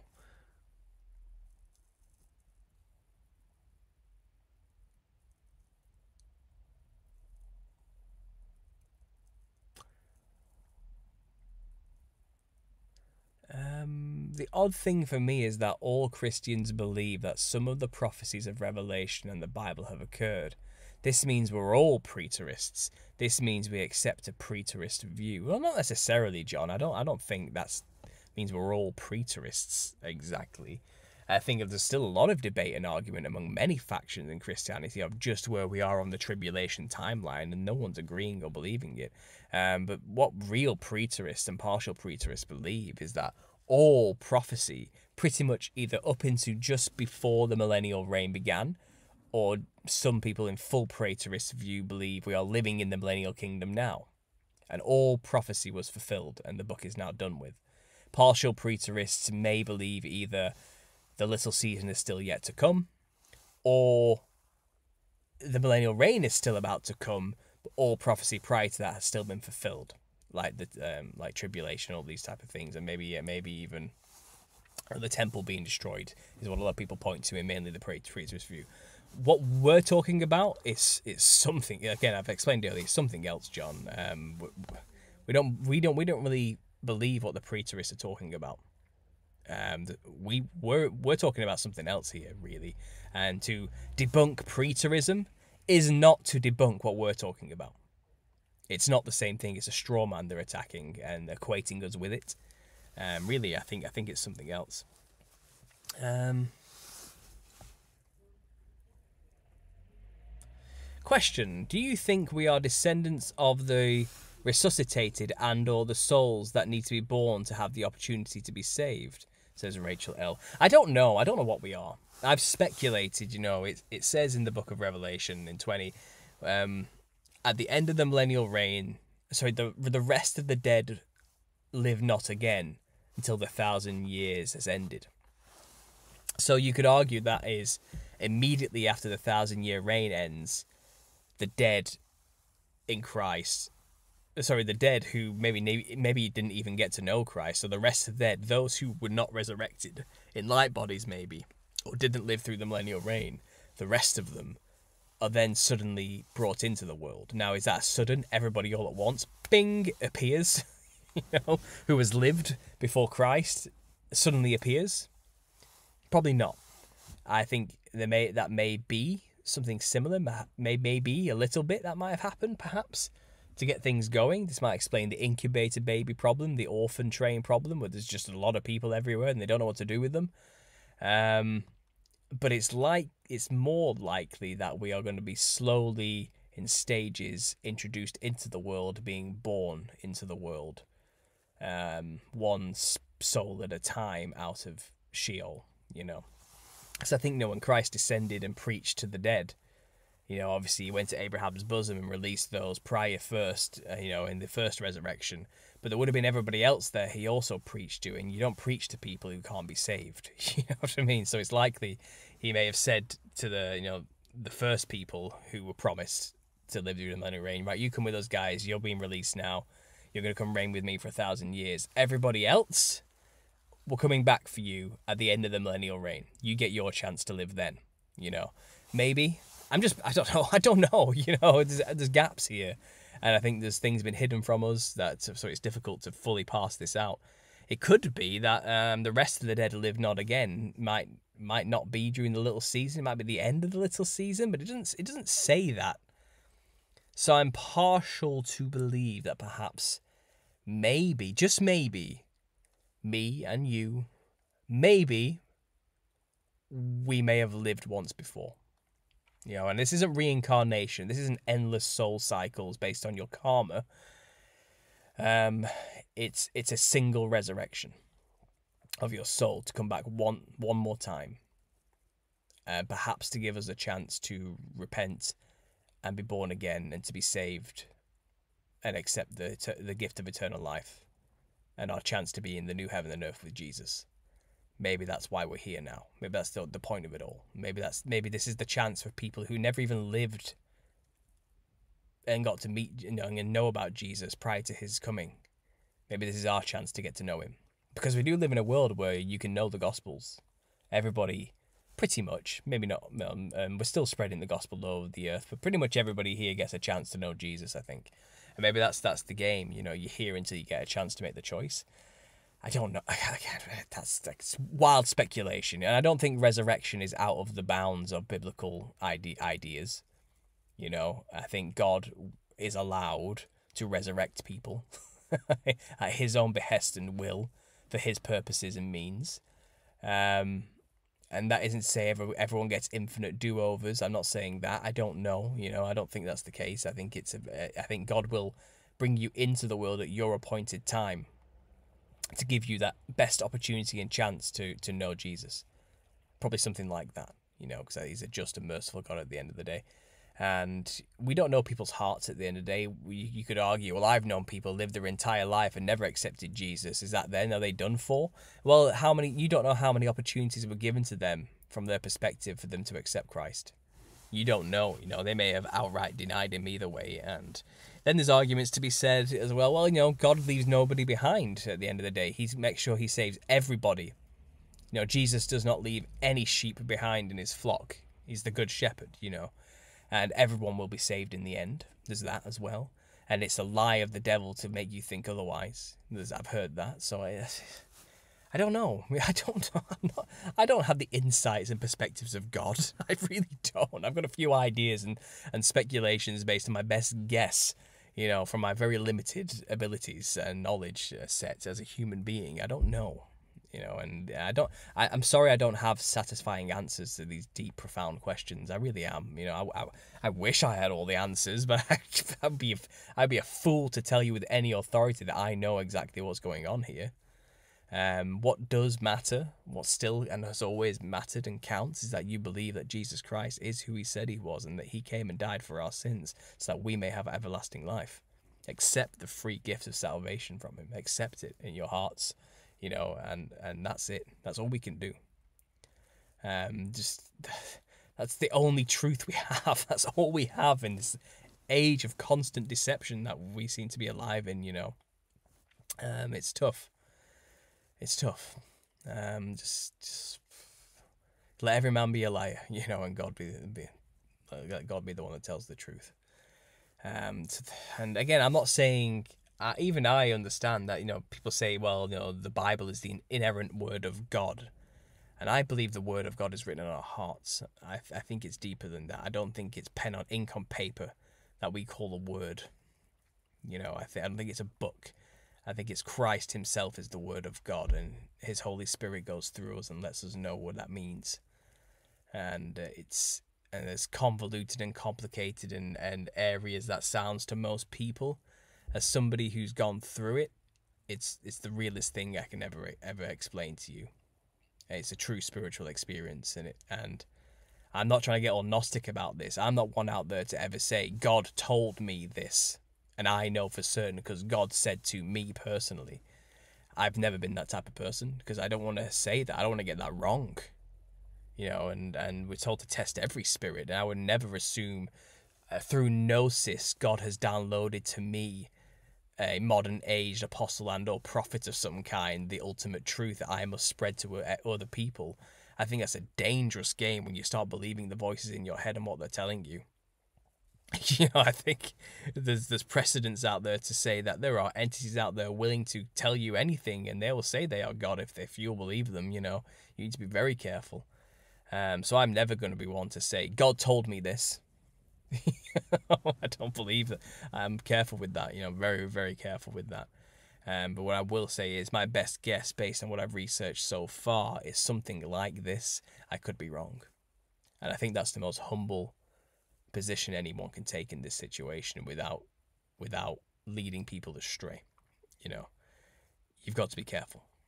And this is a message. I guess this I'm turning this into a message those people out there who constantly tell me like, "Well, God told me that this is the truth," or "Oh, I was praying about this topic because I wasn't so sure, but then God made it unequivocally clear to me that this is the great deception, and you're an agent of Satan." It's like, "Oh, did he? God told you that, did he? He personally told you, Janet Smith of Colorado or whatever." you right there. God came and spoke to you to give you that divine revelation, did he? That I'm an evil satanic shill out there to spread a false gospel. Is that what he said to you? Like, I, I don't know. Maybe he did, but um, my, you know, my gut feeling is telling me that did not happen. That is not the case here, because I know I'm not out there to purposely spread false doctrines or gospels, and I'm not here to intentionally deceive anybody. I don't call myself a pastor or a preacher. I don't say I have I have a what do you, what do you call it again? My mind's blanking here. You know, a church. you know, I don't have a ministry. I'm not saying anything like that. I'm a guy. I'm just I'm just a, a young adult, pre-middle aged father and husband who takes photos at weddings and has a YouTube channel who just says his thoughts. That's all I am. You know, don't take don't take me for any more than that. You need to focus on Jesus and nothing else. You know, that's he's the only authority on anything spiritual as far, as far as I'm concerned. You know, no guru or pastor or ministry is is, is without fault. You know, we, we're all corrupt humans, and and at the end of the day, and uh, it, it's foolish to hang on the words of any man. But you can pray to Jesus and ask him to, to show you the truth, and he will.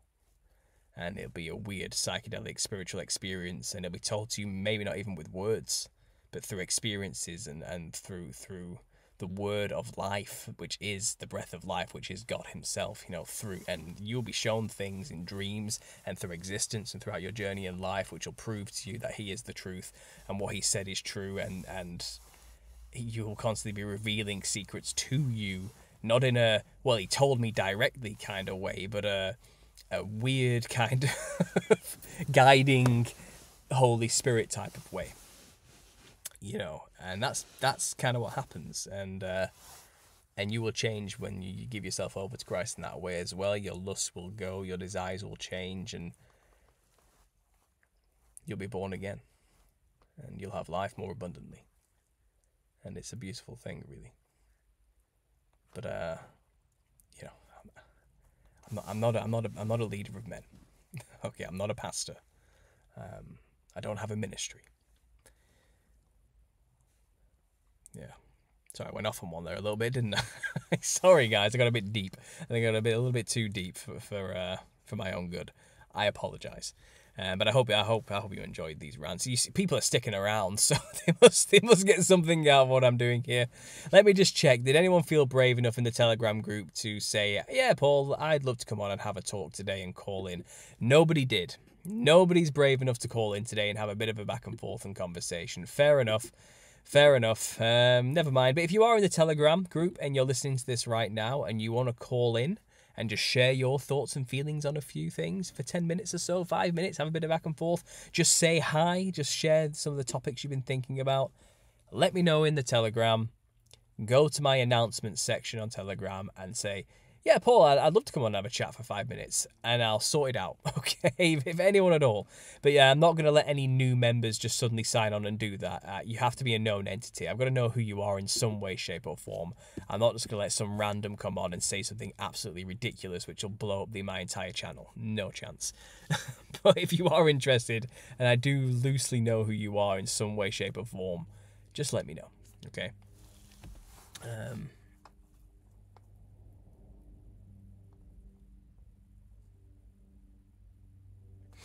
what's going on here.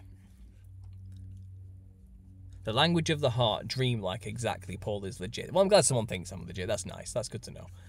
Um,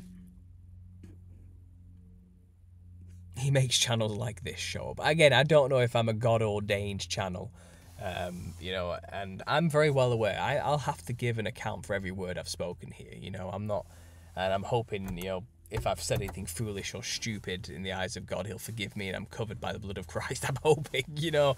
Um, I, I, my intention here is not to lessen anyone's faith in Jesus or, or, push them away or anything like that. I'm not trying to spread false doctrines or something. I literally just I like to think about these things. I think out loud, okay. And again, I always have the caveat of I, I'm not I'm not a I'm not a church leader or anything. You know, I'm not an expert either necessarily. I'm just somebody who who who spoke out loud and people started listening. And I, I, encourage everybody else to speak their thoughts out loud too, which is why I'm trying to say, you know, come and join me and, and have a chat with me. Uh, you know, get in the Telegram group, have a back and forth. Let's make a community about this. You know. Um, sorry, I, I, had another random random offshoot topic I wanted to discuss there for a second, but I've, I've lost it. Anyway, guys, I'm gonna I'm gonna segue into a different topic for a minute, just for a minute, just for a minute, and you'll see by the the change in imagery what I'm going to be talking about. Let's talk about the clowns. All right, so I've got a. Uh, those who may know me from my original channel. I know a lot of you have come over because of this Millennial Kingdom stuff, but I am actually the guy who created the theory where it talks about the Nephilim and how they had clown like features by our descriptions today. And it goes on to a deep history about where we get clowns from, where the costume originates from, and how it is literally modelled after the Rakshasa demons of India, and how it's been used in the modern day as a means to channel the Nephilim in the same way ancestor spirit worship cultures still do and have done for thousands and hundreds of years.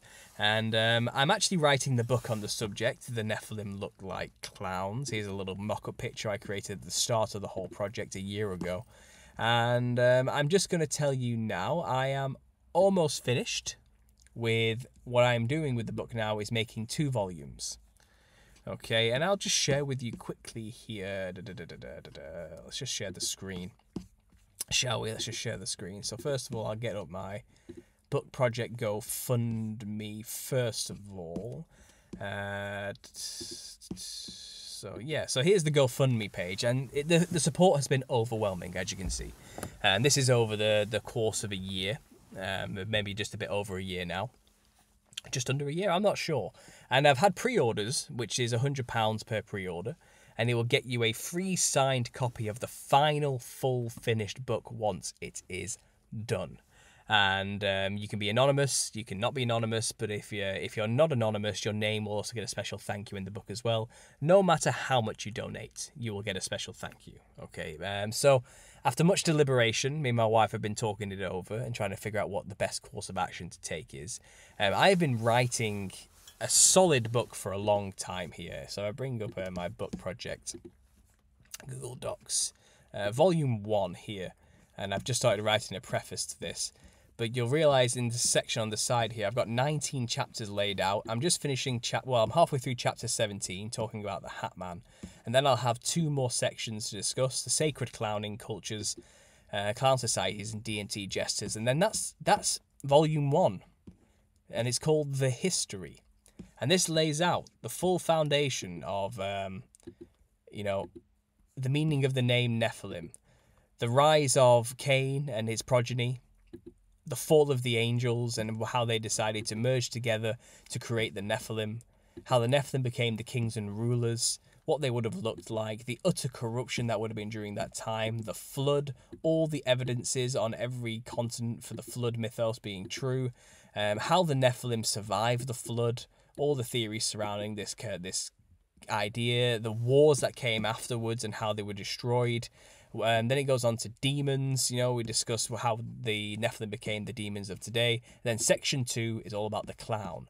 And we talk about biblical descriptions of angels, biblical descriptions of the Nephilim, modern encounters with Nephilim like creatures and their descriptions white skin, red hair the origin of the clown throughout history through Greece and Rome, and then we go through the Harlequin roots to the clown's takeover as the demonic character, Joseph Grimaldi, the father of modern clowns, and then we talk about how secret societies got involved with all of this, how Freemasonry and Lucifer and magic are all one, basically, how Charles Dibdin, who created the costume of the clown, was uh, involved with Indian iconography and also created his own magazine called The Devil, said he made his own deal with the devil, which he became immediately famous with afterwards, was a Freemason member of the lodge number 2429. And then we talk about Freemasons, how they took the idea of a clown, rolled with it, and added it to circuses, copied Freemason rituals into the modern circus. And then we talk about Shriners. I have a section on the Royal Order of the Jesters.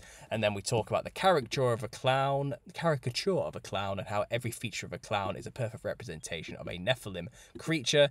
And then after going through each type of style of clown, including including an expose on jesters at the end there and where we get that from.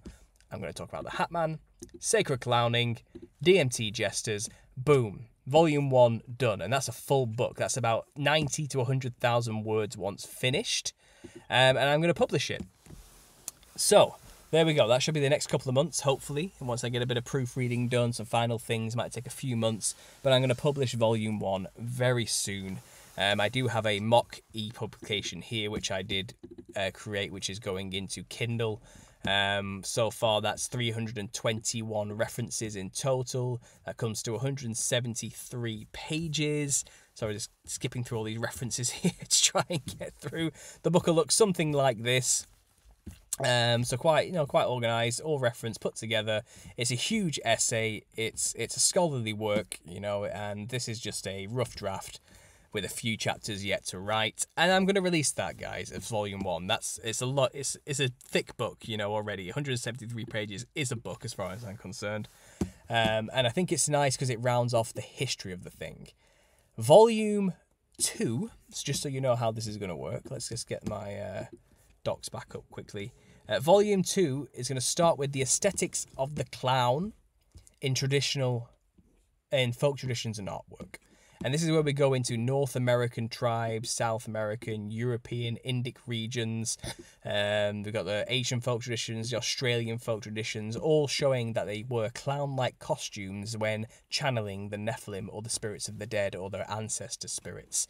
Then section four will be all the modern day stuff. We'll be talking about clown murderers and perverts like John Wayne Gacy, for, for example, but there are many, many, many, many more, believe me. We'll talk about the 2016 clown sightings, the fear of clowns, the multicolored collective, as I like to call them, the clown in film and TV, the music industry, and how the costume of a clown is still used today, just like all these ancient cultures I'll discuss in these earlier chapters, to channel demons for fame, power, and fortune, and then a conclusion. And we're talking about how we can use Jesus to defeat these things in his name, cast them out, and so forth. So that's what section two will be about. It'll be another 200 pages, no doubt. It'll be a huge book, and it'll be dealing with the modern traditions, the folk traditions, and the modern influence. So volume one is the histories, volume two is the more modern day representations. So, two volumes which will work perfectly together, two books there. And once both volumes have been published, there will be a final book published, which is both volumes combined. Okay, and that was the original, but it, that's going to take another year to write. It's taking me a year to write volume one, and it's probably going to take me another year to get volume two out. So, you know, I don't want people waiting too long. I do feel like I need to move fast with this and get it published to protect my own intellectual property as well. It's just um, some complications going on behind the scenes, but um, you know I've been dealing with legal teams, copyright teams, trademarking things to get the book in order, get it ready to publish, so we can get this sorted. Um, but yeah, I think it's I think it's ready. You know, and here's some mock-up book covers my wife made. Um, that's half of it. For some reason, you can't make the full image on uh, this, but that's three parts altogether as one. Um, but the book will be released now. Just to let people know who have donated for the the book, it's up to you how you want to do this. I'm going to work with those who have donated hundred dollars or more.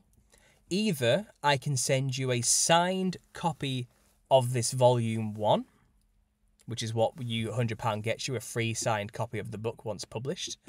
That's what the offer was. Now you can either get this book, volume one, or you can wait a year and I will personally send you a signed copy of both volumes combined into the one book. But you can only have one or the other. I can't mail both. Okay, it's just the cost will be too astronomical.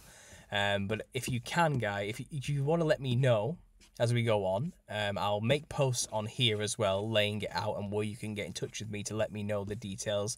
But if you are one of these £100 donators who gets the free signed copy of the book mailed to them once published, I will need you to let me know. I have a file with your guys' names on it already. You know, I already know who's donated, and I'll be contacting you all individually as well as, as much as I can to ask that question. Do you want volume one, the first book, signed and sent to you? Or do you want to wait a year to get the combined volumes signed and sent to you? You can make your choice, okay? It's up to you how you want to do it. I'm giving you the option, all right? Um, and that's it, guys. That's all my announcement is on the book there. If you've been following that. Uh, but it's yeah, it's been a wild ride. It's been a hell of a time writing this thing. I have learned quite a lot along the way about what it means to write a book as well. It's certainly no simple task, I'll tell you that much. But it's coming along nicely, and I'm hoping in the next three months it will be published and done as soon as the uh, all the correct trademarks and all these type of things are finalized by, by the legal teams behind the scenes and so forth. But you know, there's all the all the nuances, and uh, obviously I need to write those final two chapters and just proofread. Um, luckily, you know, you mean you guys won't know this, but um, volume one, for example, um, I don't think there'll be much proofreading done because I've practically rewritten and reread these pages over and over and over and over and over again anyway. Um, which is why it's been such a long process. I'm very, I'm a bit of a perfectionist. I'm a bit of a, I have gone over and over most of the book, quite a lot, at least up to like chapter like uh, eleven. I have written and reread perfectly, so I'll really only need to proofread the uh, the following ten chapters, uh, nine chapters there. So it shouldn't take too long um, to you know formal formalize and work into and by the way it will be on amazon publishing. I'm publishing through amazon. I'm going to self-publish. If in the future some publishing house wants to wants to make me an offer um, they can and i'll take it off amazon but right now I'm, i think self-publishing is the best way to go and uh, kdp which is kindle um, have quite an easy system to get it all done and set up and out there um, it's easy for you guys as well so that's how i'm going to do it so there's an update on the book there's a quick update on the book, guys. I'll create the slideshow back on so you can get some examples of modern cultures who still celebrate their ancient ancestor spirit worship traditions dressed like clowns to watch while I'm talking. So there you go, guys. Ah, what's going on? What's going on? What's going on?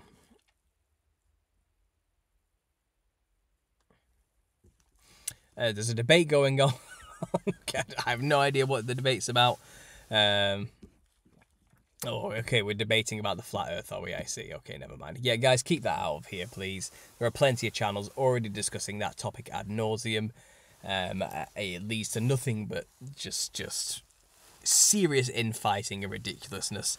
Um, but you know, you know, I'm, I'm, you know me. I'm a conspiracy theorist. I'm up there saying it's definitely not what they told us with the rest of us. But try to keep the chat free from those type of bickering things, please. It's just not the place for it. Um, Paul, I like the way you think, says John. Oh, thank you. I appreciate it. I, am glad you liked my answer to your question there. Um,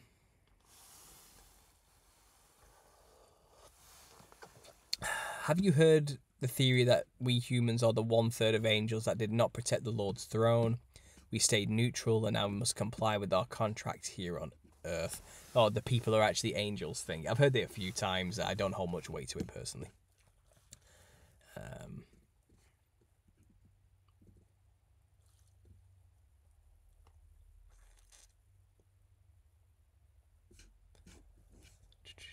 so yeah, someone's been spamming the chat. Um,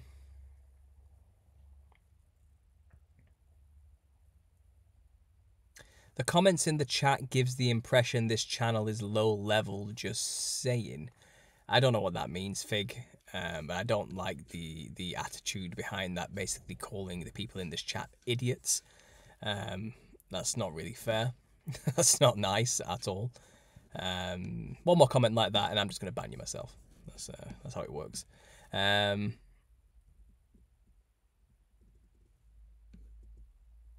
hundred pounds of what? says savagely. yeah, I know. Our language is funny and silly in England. I get it. Um, he was only adding to his comments.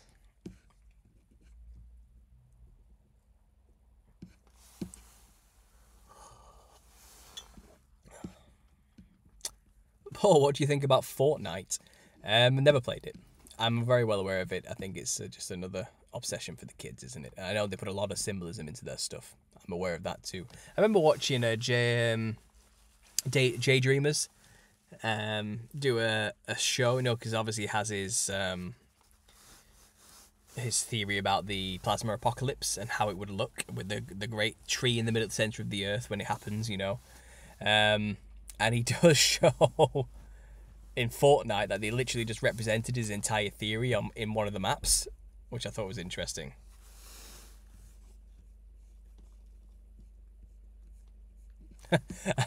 so my wife's trying to make a point about how annoying spamming is. Yeah, okay.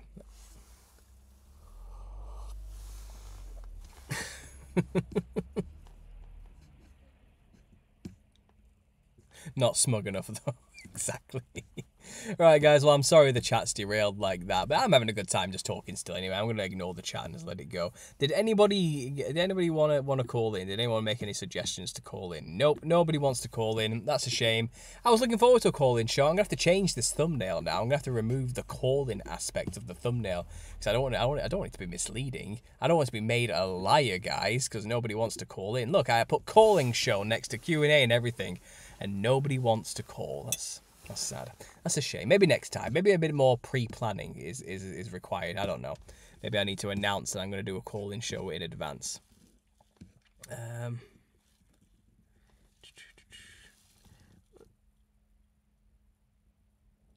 Am I still in time or can I go out and play? Says all glory to God. Uh, yeah, you know.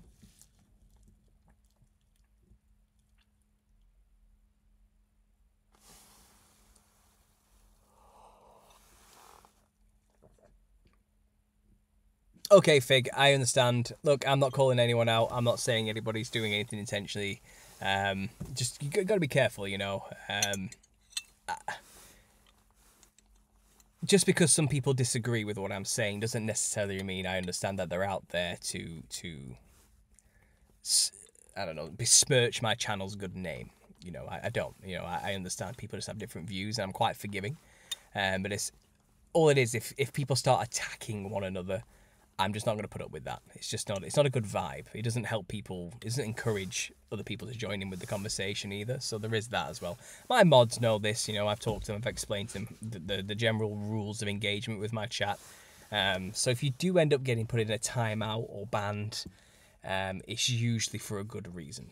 okay, it's usually to to stifle too much arguments or creating a negative environment for the chat. You know, and uh, we have a quite a lot of lenience here at understanding conspiracy when it comes to controlling the chat. You know, um, we I, would say we are very long suffering and forgiving and put up with a lot, lot a lot longer than other channels do. Um, but there are limits. I will say that.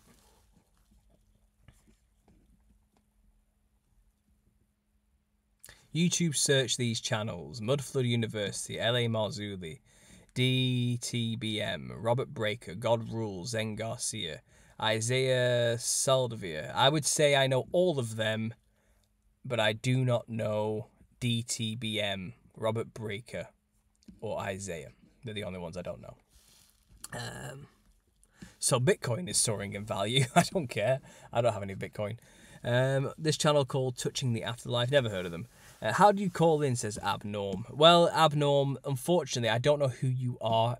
Um, I don't know anything about you. You're the that's the first time I've ever seen you before. Same for Ad B look, if you want to call in on this show, you need to be a relatively known entity. Okay, I need to know you a little bit. I need to know something about you. Okay, I don't have a screening process. I don't have a guy behind the scenes who's gonna check my calls before they come in to make sure they're not just gonna come on and start spouting some racist nonsense, you know, or whatever it is.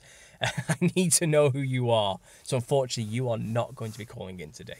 But what I would recommend is joining the Telegram group talking, having a conversation with people, become a part of the community, and then I'll see you in there and I'll get a gist of your character and what you're into and what you want to talk about. And then next time I do a show, let me know in the Telegram. Paul, I'd love to come in and, talk, and talk with you this time. Can I please come on? I'm like, yeah, of course you can, Abnormal. No problem. I've known you for like a month. I know who you are. Come on, bro. Let's go. Come on, let's have a chat. But until then, no chance. okay, that's not how it's going to work. Um, Question, says Rachel L. What is expected from us besides not being deceived if we are living after the millennium? Do we just have to wait for Gog and Magog? I mean, what do you, what do you want to be expected from you? What do you, you are you do you think you're expected to save the world? Are you expected? What do you what do you think should be expected of you necessarily? Um, I would say just hold fast in the word and try your best to live a good life while you can and by that I don't mean living a good life is going to save you. No, only only Jesus' sacrifice will save you, and accepting the gift of salvation is going to save you. Your works won't save you, but try and at least enjoy the time you have while you have it. God gave you life to live and live it abundantly, not to squander and waste. So do as much as you can with that life while you've got it. You know. Um, within the boundaries, of course, of not sinning all the bloody time and spitting in the face of God, of course. But um, what else can you do? Really. I mean, realistically, I'm not, you know, we can't save the world. And you can't save people either, unfortunately. People have to save themselves. You can't force people to believe stuff. You can't force people to listen to you as preaching the truth. You can't make people believe you. And they have to want to know the truth themselves and seek it out for themselves. Go out and plant some seeds. That's the best you can do, really. Um, but I would say, you know, live live your life. Don't don't waste it.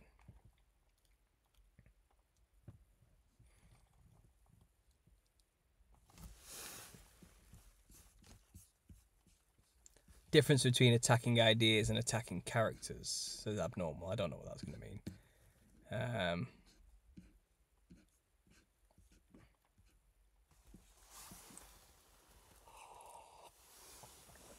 we need to be the best human we can. That's really all we can do, says Anne. Yeah, exactly. Um,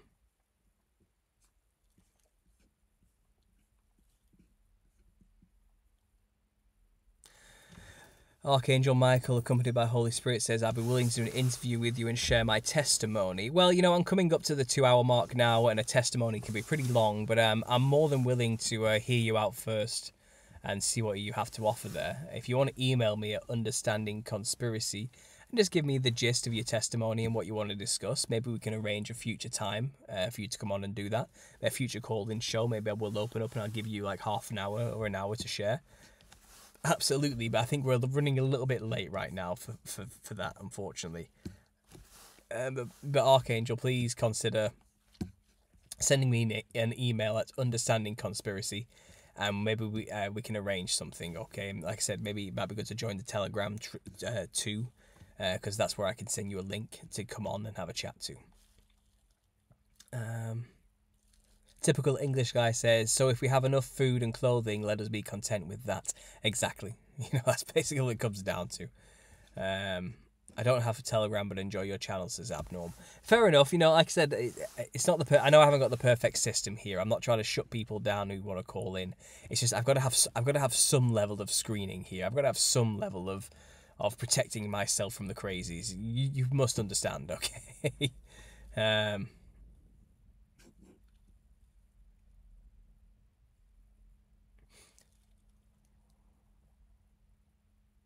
I'm so happy I just clicked on your live so on point, says Oh, thank you. I'm glad you appreciate that. Telegram, I'll join you. Yeah, absolutely. So all, all links for the Telegram are in the description to this video, guys. If you're not a member already, come and come and join the conversation. We'll have a chat, okay?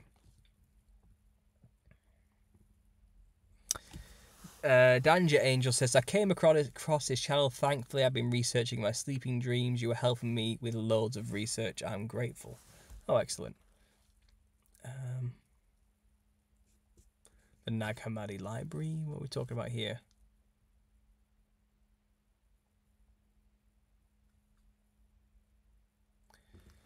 Uh, are we getting into Gnosticism now? Is that what we're doing? Mudflood University has all the proof about the dead bodies everywhere. You have the giants. I, I understand Mud Fossil University's work.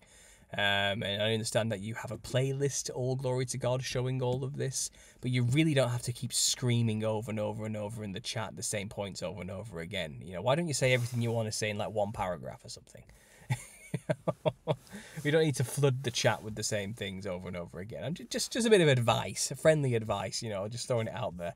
And uh, that might have been what got you into trouble to begin with, to be honest. Uh, but let me just also go over here. Um, just refresh that quickly. Oh, it's like we've had another another pre-order do- uh, donation there. That's excellent, uh, Radislaw. Just out of curiosity, um, Radislaw, for the for the donation there.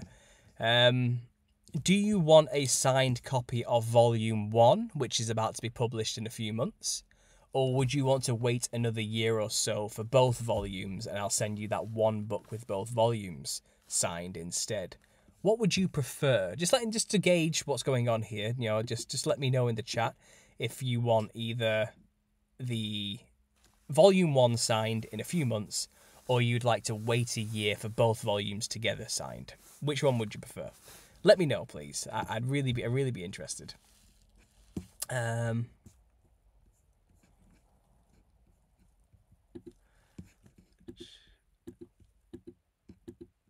sorry, guys. Something just glitched on me there. I'm trying to quickly get it back. Okay, I think I'm back. There we are. Excellent. Now let me just open the chat quickly, see what's going on. It seems to have slowed down on me and I've lost a lot of things. Let me just.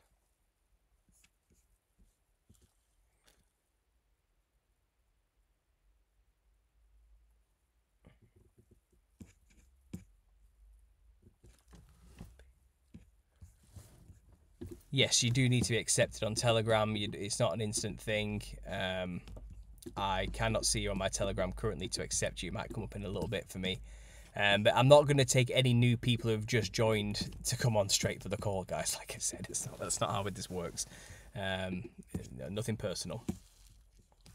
Um,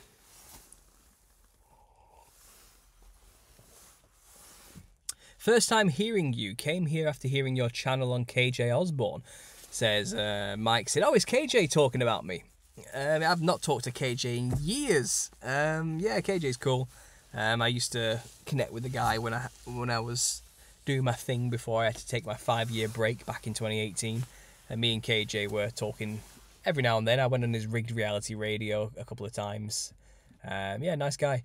Um, I'm surprised. Is he still going? Is he on? Did he move? I think he moved to a different platform, didn't he? Did he go on to BitChute or Rumble or something and then mainly go on his website. Is that where he hosts his things now? Is is is is KJ mentioning me? That's nice. That's nice to hear. I think he's. I'll have to connect with the guy. I'm have to send him an email, see what he's up to. Uh, but yeah, that's a blast from the past. Thanks for reminding me of KJ Osborne there. Um,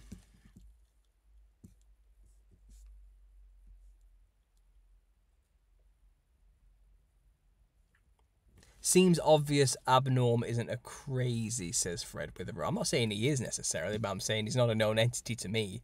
And I am Sophia, who's saying, How do you call in? I don't feel like I'm going to get somebody who's calling himself I am with the Gnostic name of Sophia next to it either. I'm not getting into a Gnostic debate with somebody, so I'm likely not going to let him call in either. You know what I mean? I, got, I gotta, um, I've got, I gotta protect myself in some way. All I'm saying. BitChute says typical Ninja guy, the scariest movie ever. Yeah, I know, I know, I know who KJ is. I know he, he made the document, the scariest movie ever, like in like 2009 or something, wasn't it? 2008. That guy's old school. That guy's been around in the game when I started. You know yeah, I've I've I've known KJ for years.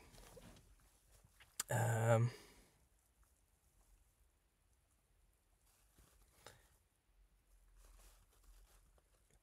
KJ does Rumble and also does a live call-in show on YouTube again. Oh, excellent, Milksy. That's brilliant. Yeah, I have to I have to hook up with the guy again, get in touch with him, see what's going on. I know he, I know he stopped YouTube for a little bit.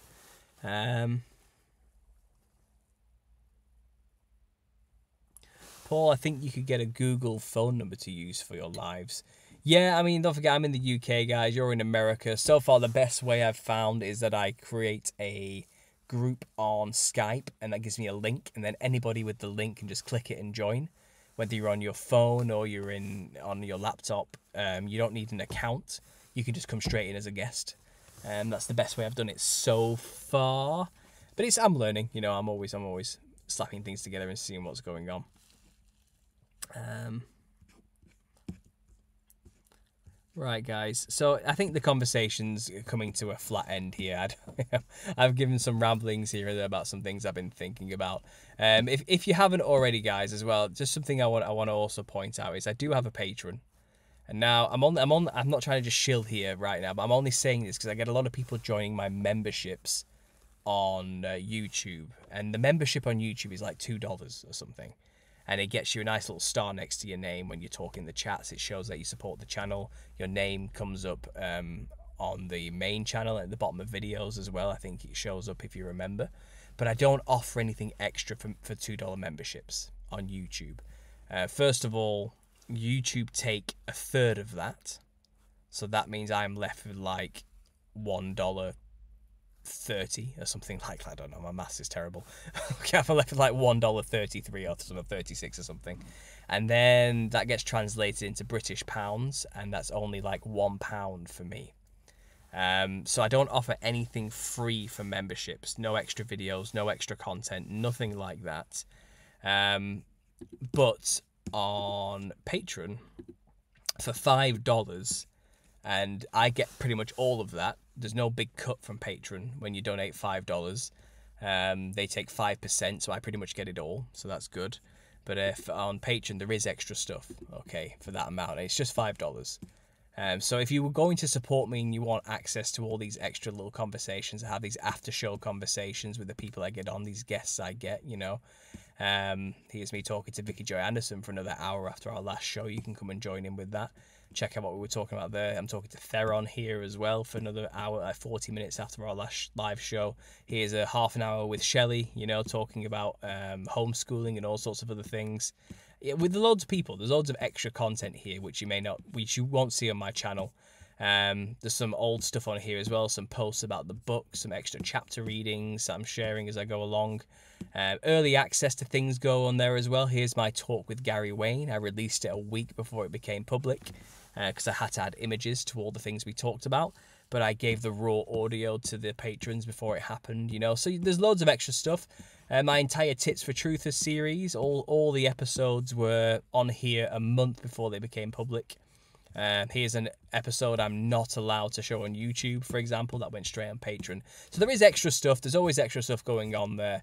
And to get access to this extra stuff, it's $5 a month on Patreon.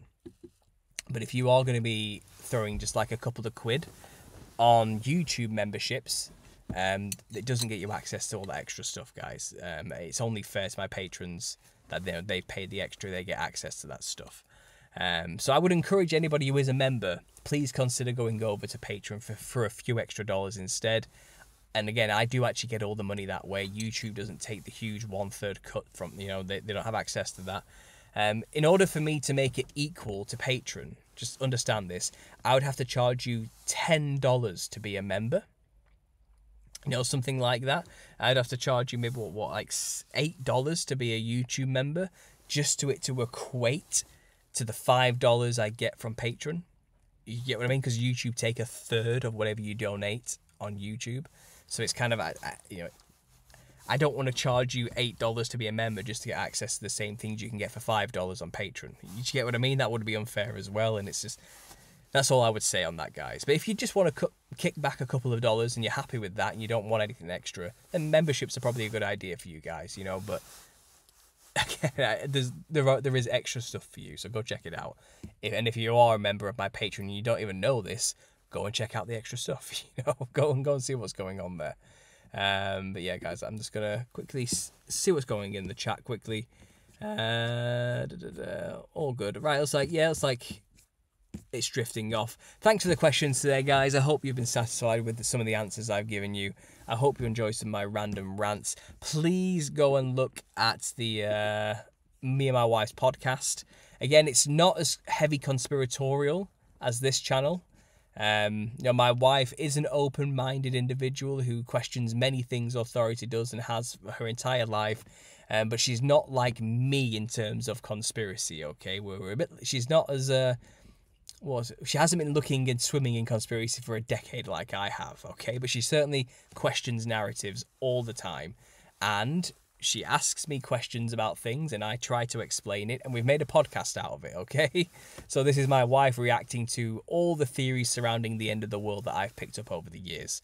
Okay? And a lot of these things she's heard of before, a lot of them are new to her and she naturally has normal human reactions and questions to these theories, and I try my best to answer them, and that's what we talk about in this podcast. So go and check it out if you haven't already. If you've just joined this podcast, you'll know at the start of this I played 20 minutes from our recent episode just as a sample, but links are in the description to go and see me and my wife's podcast. Um, go and check it out. It's a bit of fun. It's a bit more light-hearted. It's nothing too serious, all right? So go and check that, that out, guys, if you haven't already. But that's it for me today. Thanks for listening. And as always, God bless.